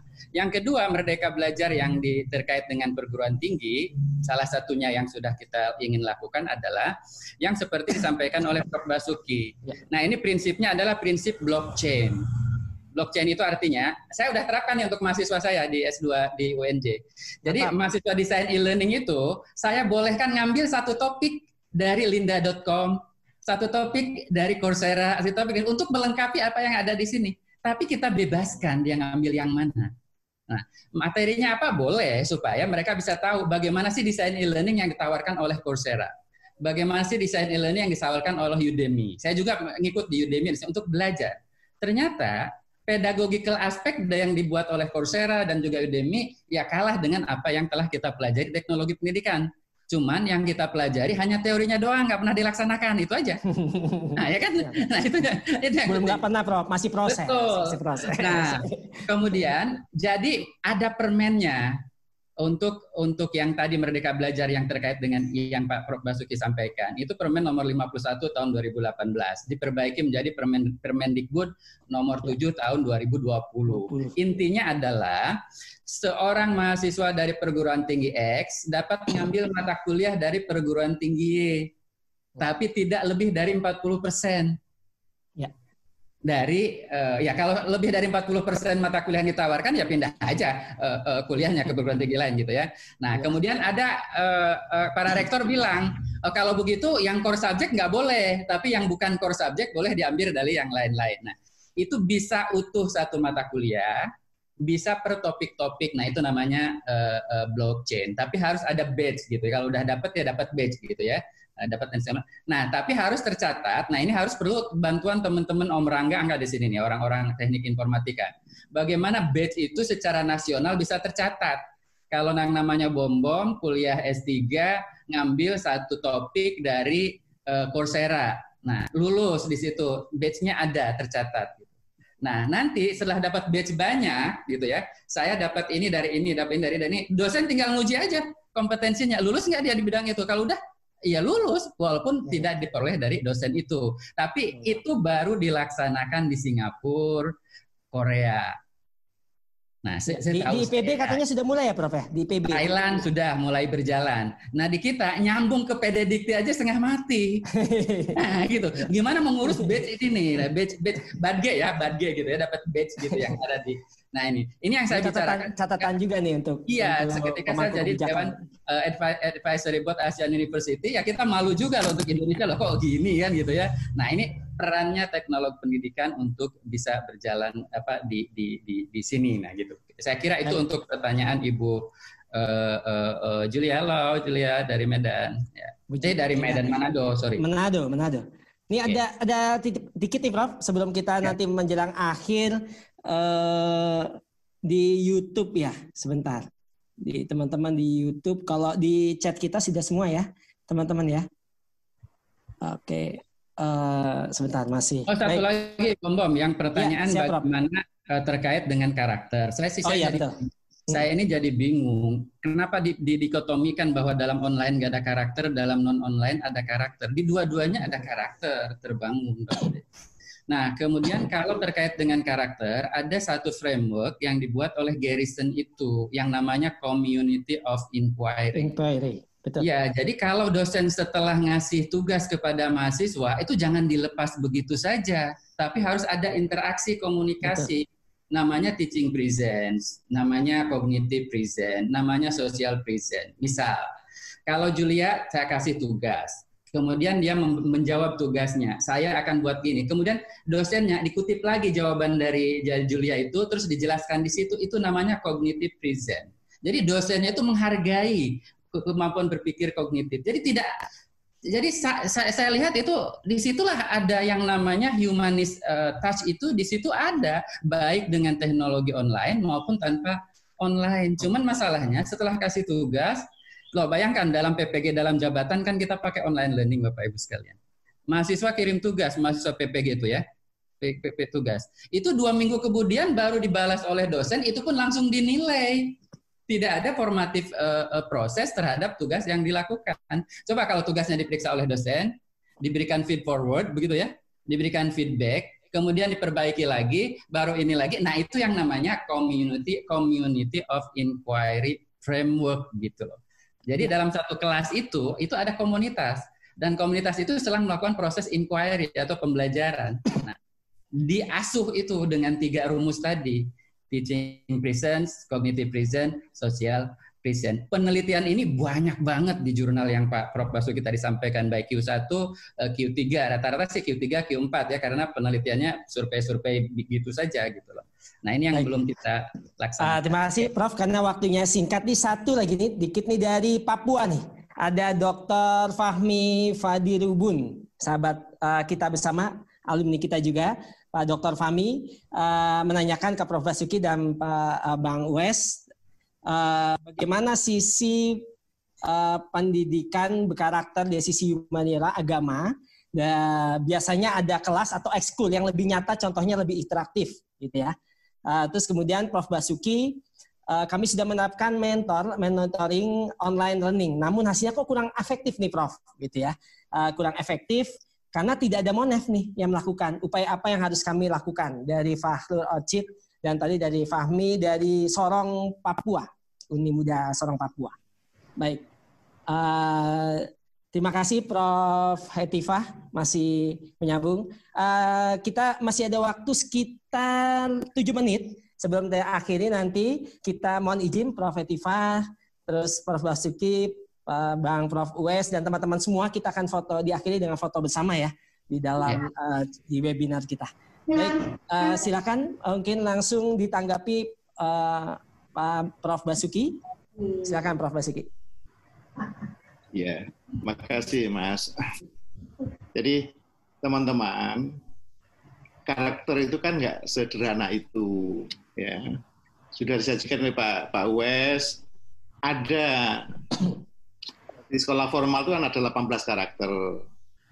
Kalau di dunia kerja ada beyond 18, ada mungkin lebih dari 24 ya, 19, 20, 21 dan seterusnya. Nah sekarang eh, kita tentunya nggak nggak nggak bisa di dalam satu pembelajaran pembelajaran pembelajaran daring pembelajaran daring hanya karakter-karakter tertentu yang bisa digarap. Tapi ada di tetap muka juga gitu. Nah, itu model pembelajaran semacam apa yang yang bisa uh, bisa membawa muatan kejujuran, membangun kompetensi kejujuran. Ada lagi misalkan karakter di dunia kerja bisa bekerja di bawah tekanan. itu itu juga harus dipikirkan model belajar uh, daring macam apa yang cocok. Nah, bisa dibayangkan kita fokus misalkan kita hanya ke ke enam uh, karakter utama misalkan itu aja udah pekerjaan berat ya tapi tantangan buat buat TP jadi sekali lagi jangan jangan berharap dengan satu model itu bisa terjawab semua tapi kita fokus apa yang mau kita kembangkan eh, strateginya pakai apa modelnya pakai apa teknologinya pakai apa Nah, itu yang yang jadi PR kita bersama. Saya kira teman-teman uh, sudah bisa langsung itu ber, berproses pikirnya, bisa membuat proyek-proyek penelitian baru, proyek-proyek kemasyarakatan baru. Ya. Nah, terus pertanyaan kedua soal mentoring, mentoring, nurturing, coaching, ya teaching, ya training, itu kan satu satu pilihan. Nah, Kenapa mentoring nggak bisa jalan? Padahal kita sudah memprogramkan. Ya. ya, saya berikan contoh tadi itu. Di satu diklat, untuk mau menduduki jabatan tertentu di satu lembaga perusahaan multinasional, ya pekerjaannya sempit sebagai seorang spesialis A. Tapi ternyata untuk menyiapkan itu butuh teori dua bulan. Ya. Mentornya sehari bekerja 8 jam. Mendampingi monefnya tiap tiap saat ya, bisa dibayangkan pasti jalan. Nah, kalau kalau kita misalkan mentoring sudah daring, ketemunya jarang, ya bisa dibayangkan apa pun namanya, mau mau full full daring, mau blended, mau mau lain. Yang kita yang kita perlukan tadi itu involvement, involvement siswanya, muridnya dengan sistem, eh, dengan gurunya, dan dan eh, termotivasi tinggi dan dan sebagainya. Itu sementara. Jadi uh, dibangun yang terakhir ya. ya. Contoh di daring ini. Fungsi pengawas di Dinas Pendidikan Kabupaten Kota. Monitoring ada. Setiap minggu minta laporan dari sekolah. Betul, Pak. Malah yang ada itu malah tambah stres kepala sekolah. ya, ya setelah setelah laporan dikirim ya itu itu yang yang buat apa apa yang tidak lanjutnya makanya saya saya berharap ya sudah fungsi sekolah harusnya hadir di situ, fungsi dinas harus hadir dan seterusnya. Tapi guru yang saya katakan dari ujung tombak tiba-tiba jadi aktor utama itu, ya, ya harus punya kendali diri yang yang lebih bagus, ingin performan yang yang unggul dalam setiap pekerjaan yang yang akan dilakukan. Nah, membangun itu yang yang saya kira jadi PR kita bersama. Ya, terima kasih Mas. Mudah-mudahan bisa menjawab itu ya. Amin, amin. Terima kasih, Prof. Baik, uh, Bang Wes, ya. singkat saja, Bang. Karena ya, saya saya ingin menjawab teman dari Pak Fahmi Badir Fadirubin, Fadirubun ya. Ini pertanyaan. Ya, Fadirubun.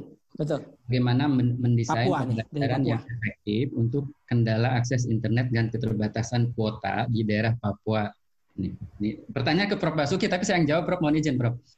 Monggo, monggo. Ya, jadi gini, eh, kalau kalau jawaban dari sisi kita dari sisi teknologi pendidikan bahwa instructional technology is uh, contextual bounded and social situated. Jadi tergantung pada konteks dan juga situasi, kan gitu. Ini kan rumusnya Mbah Reglut itu kan gitu ya yang yang yang dipakai yang teori preskripsi dari Mbah Reglut itu. Itu pertama. Yang kedua, it is not about technology. It is about creating experiences with technology. Jadi bukan masalah teknologinya. Yang menjadi masalah kita, yang jadi core bisnisnya kita adalah bagaimana menciptakan pembelajaran, pengalaman belajar dengan teknologi. Nah, sehingga yang ketiga, distant education itu tidak melulu terkait dengan daring. Kan gitu. Makanya di Facebook saya tulis, apakah apakah tatap maya dengan video conference sama dengan distant learning? Ya enggak, kan gitu tidak identik. Jadi untuk kasus Pak Fahmi Badirubun itu, saya buat analogi seperti ini. Mana yang lebih baik? Seorang guru ngajar dengan menggunakan uh, web conference dengan menggunakan Zoom, dia menjelaskan materi 10 slide presentasi yang bagus plus video kepada anak-anaknya. Itu yang pertama. Yang kedua, tapi uh, ada satu guru yang dia nulis dalam kertas kecil, kertas kayak surat gitu, memberikan LKS dengan panduan yang sederhana, sepotong demi sepotong, disampaikan kepada siswanya, berapa hari kemudian diambil lagi. Mana yang lebih baik? Yang pertama apa yang kedua? Yang lebih teknologi pendidikan itu yang kedua. Yang kedua ya. Iya kan? Yang pertama itu pembelajar apa teknologinya modern, pembelajarannya kuno. Iya kan? Tapi kalau yang kedua, pembelajarannya modern, walaupun teknologinya menggunakan indigenous teknologi atau teknologi yang sedia kala. Nah, itu yang dimaksud Pak Fahmi uh, Pak Dirubun itu saya jawab bahwa jawabnya adalah latahjan Pak Fahmi untuk Papua karena yang menjadi permasalahan bukan teknologinya, tapi instructional desainnya di situ yang harus kita lakukan. Jadi pakai saja rumus tadi contoh yang kedua, wah, saya lebih apresiasi guru yang datang ke sekolah satu-satu kasih materi dikit-dikit-dikit gitu, tapi ya tadi bukan mastery, uh, bukan harus dia menguasai eh, konten, Semua tapi materi ya, total. yang itu kayak gitu. Nah ini yang nggak terpahami oleh dos oleh guru-guru kita gitu loh. Iya. Jadi kalau orang harus daring enggak. PJJ itu sekarang generasi yang keenam. Generasi yang keenam itu ya physical uh, cyber, uh, apa namanya oh, ini uh, bisa pakai generasi yang kedua, pakai apa modul cetak UT aja masih pakai generasi kedua plus generasi 4, 5 dan 6 Betul. semuanya dipakai. Nah gitu ya. Oke. Okay.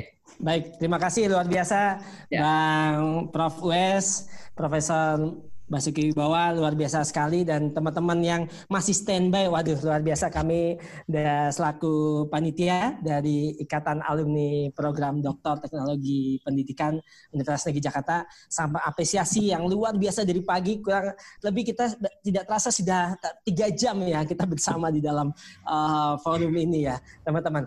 Tapi sebelum kita akhiri satu menit saja closing statement Prof Basuki Wibawa, uh, Bang Wes bisa satu menit ya untuk closing. Salam dari istri saya untuk Pak, Pak, Pak Basuki. Oh iya, silakan. Salam dari Santi. silakan Prof Basuki. Uh, satu menit Prof Basuki. Oke. Kenali dengan baik kompetensi murid-murid yang yang diinginkan untuk dicapai. Kenali dengan baik cara dan teknologi yang tepat untuk untuk mencampaikan itu dalam bentuk model, strategi dan teknologi. Ya, nggak usah latah untuk berlomba-lomba menggunakan teknologi paling canggih. Yang penting proses dan ketercapaian tujuan untuk membangun kompetensi orang itu bisa dibangun dengan baik. Selamat berjuang, Mas Bobo dan teman-teman semua. Amin, amin. Terima kasih. Kita beri aplaus buat Prof. Basuki. Terima kasih, Prof. Selanjutnya Bang Wes, silakan Bang, satu menit closing statement. Ya, saya saya ingin closing statementnya menggunakan pakai bahasa Sunda. Mangga. Ya, it is not merely about technology, it is about creating learning experiences with technology. Terima kasih. Masya Allah, kita beri aplaus yang meriah Bapak Ibu, teman-teman semua. Baik, Alhamdulillah di pengunjung pertemuan kita via seminar daring yaitu tren, peluang dan serta tantangan. Dan bagaimana sih uh, kita selaku pendidik mempersiapkan peserta didik kita untuk menghadapi bonus demografi Indonesia? Yang sebentar lagi kalau di data statistik disampaikan sampai tahun 2030 35 itu ada puncaknya. Sampai uh, maksimalnya di 2045. Itu adalah tugas kita bersama-sama teman-teman. Untuk itu uh, mari uh, kami dari Ikatan Alumni Dokter Teknologi Pendidikan yang memang belum lama kita uh, dikukuhkan teman-teman kita mari bersibaku kita bersama-sama mengukuhkan tadi alhamdulillah sudah mendapatkan lampu hijau dari Prof Hetifah Prof Hetifah mungkin bisa uh, munculkan uh, wajahnya kembali atau Pak Rektor dan teman-teman semua. Sebelum nanti kita akhiri kita akan ada sesi foto bersama. Ya, tadi uh, ada yang menarik yang di catatan saya adalah perlu adanya Badan Teknologi Pendidikan. Tadi sudah dikuatkan juga oleh Bang Wes, Prof. Basuki Bawa. Mudah-mudahan uh, Prof. Hamid uh, selaku PLT Dirjen uh, PAUD Kemendikbud uh, ya uh, bisa salah satunya memberikan atau misalnya Bu Atifa menyampaikan ke jajarannya di Kemendikbud khususnya ke Mas Menteri.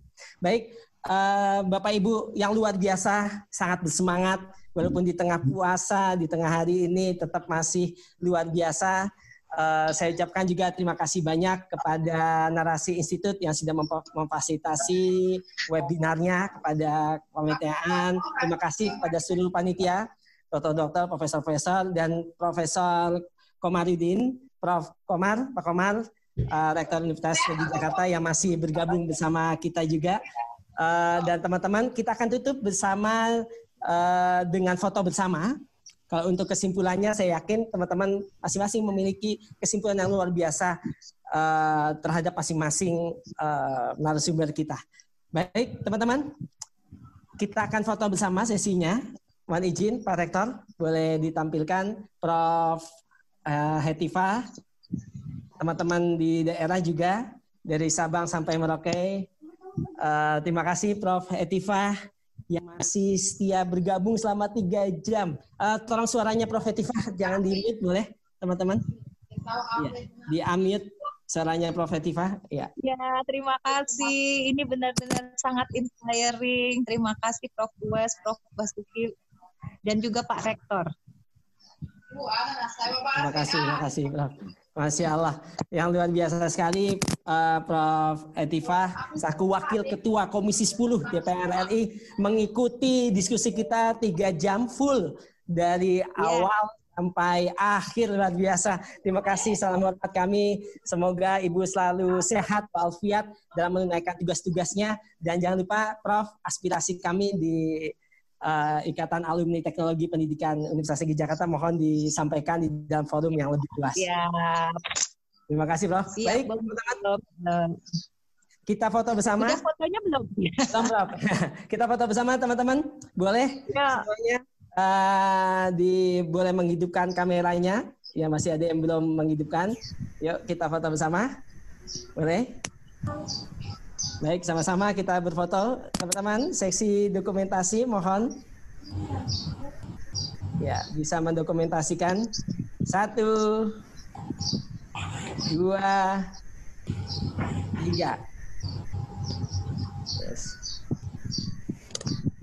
Baik, sekali lagi akan ada beberapa set pas slide ya. Satu, dua, tiga, semangat. Boleh tangannya Bapak Ibu, semangat. UNJ Jaya. Ya, kebetulan Prof. Hatifah, kita UNJ ini sedang milad ke-56. Oh, selamat. Selamat. Terima kasih Prof. Ada Pak Rektor juga. Sekali lagi, satu, dua, tiga, UNJ Jaya. Jaya, UNJ Jaya. Terima kasih. Baik, Bapak Ibu, teman-teman semua luar biasa uh, pertemuan kita hasil diskusi kita yang sangat luar biasa. Ini nanti uh, dapat Bapak Ibu kalau bisa ada nggak siaran ulangnya? Silakan. Siaran ulangnya ada di beberapa uh, channel. Di sini ada channel salah satunya channel YouTube dari Narasi Institut dan juga ada di beberapa pemberitaan sini ada di tadi pemberitaan uh, berita UNJ di Humas UNJ terus tadi teman-teman kumparan, teman-teman detik.com juga terima kasih yang sudah bergabung, uh, teman-teman media narasi institut, dan tidak lupa yaitu teman-teman panitia yang sudah luar biasa walaupun secara singkat menyelenggarakan webinar kita ini. Terima kasih Bapak Ibu semua, teman-teman, Prof. Hetifah, Prof. Basuki Wibawa, Prof. Wes, Prof. Komarudin, Pak Rektor yang masih senantiasa bergabung bersama kita, uh, serta Prof-Prof yang tidak bisa saya sebutkan satu persatu dalam grup ini sangat luar biasa, uh, banyak sekali ada Prof. Fakhrudin, banyak sekali Prof-Prof uh, yang Oke, bisa. Makasih Bobo, makasih, terima kasih Prof. Prof. Terima kasih, salah kita jumpa lagi ya Prof. Sampai jumpa. Baik Prof.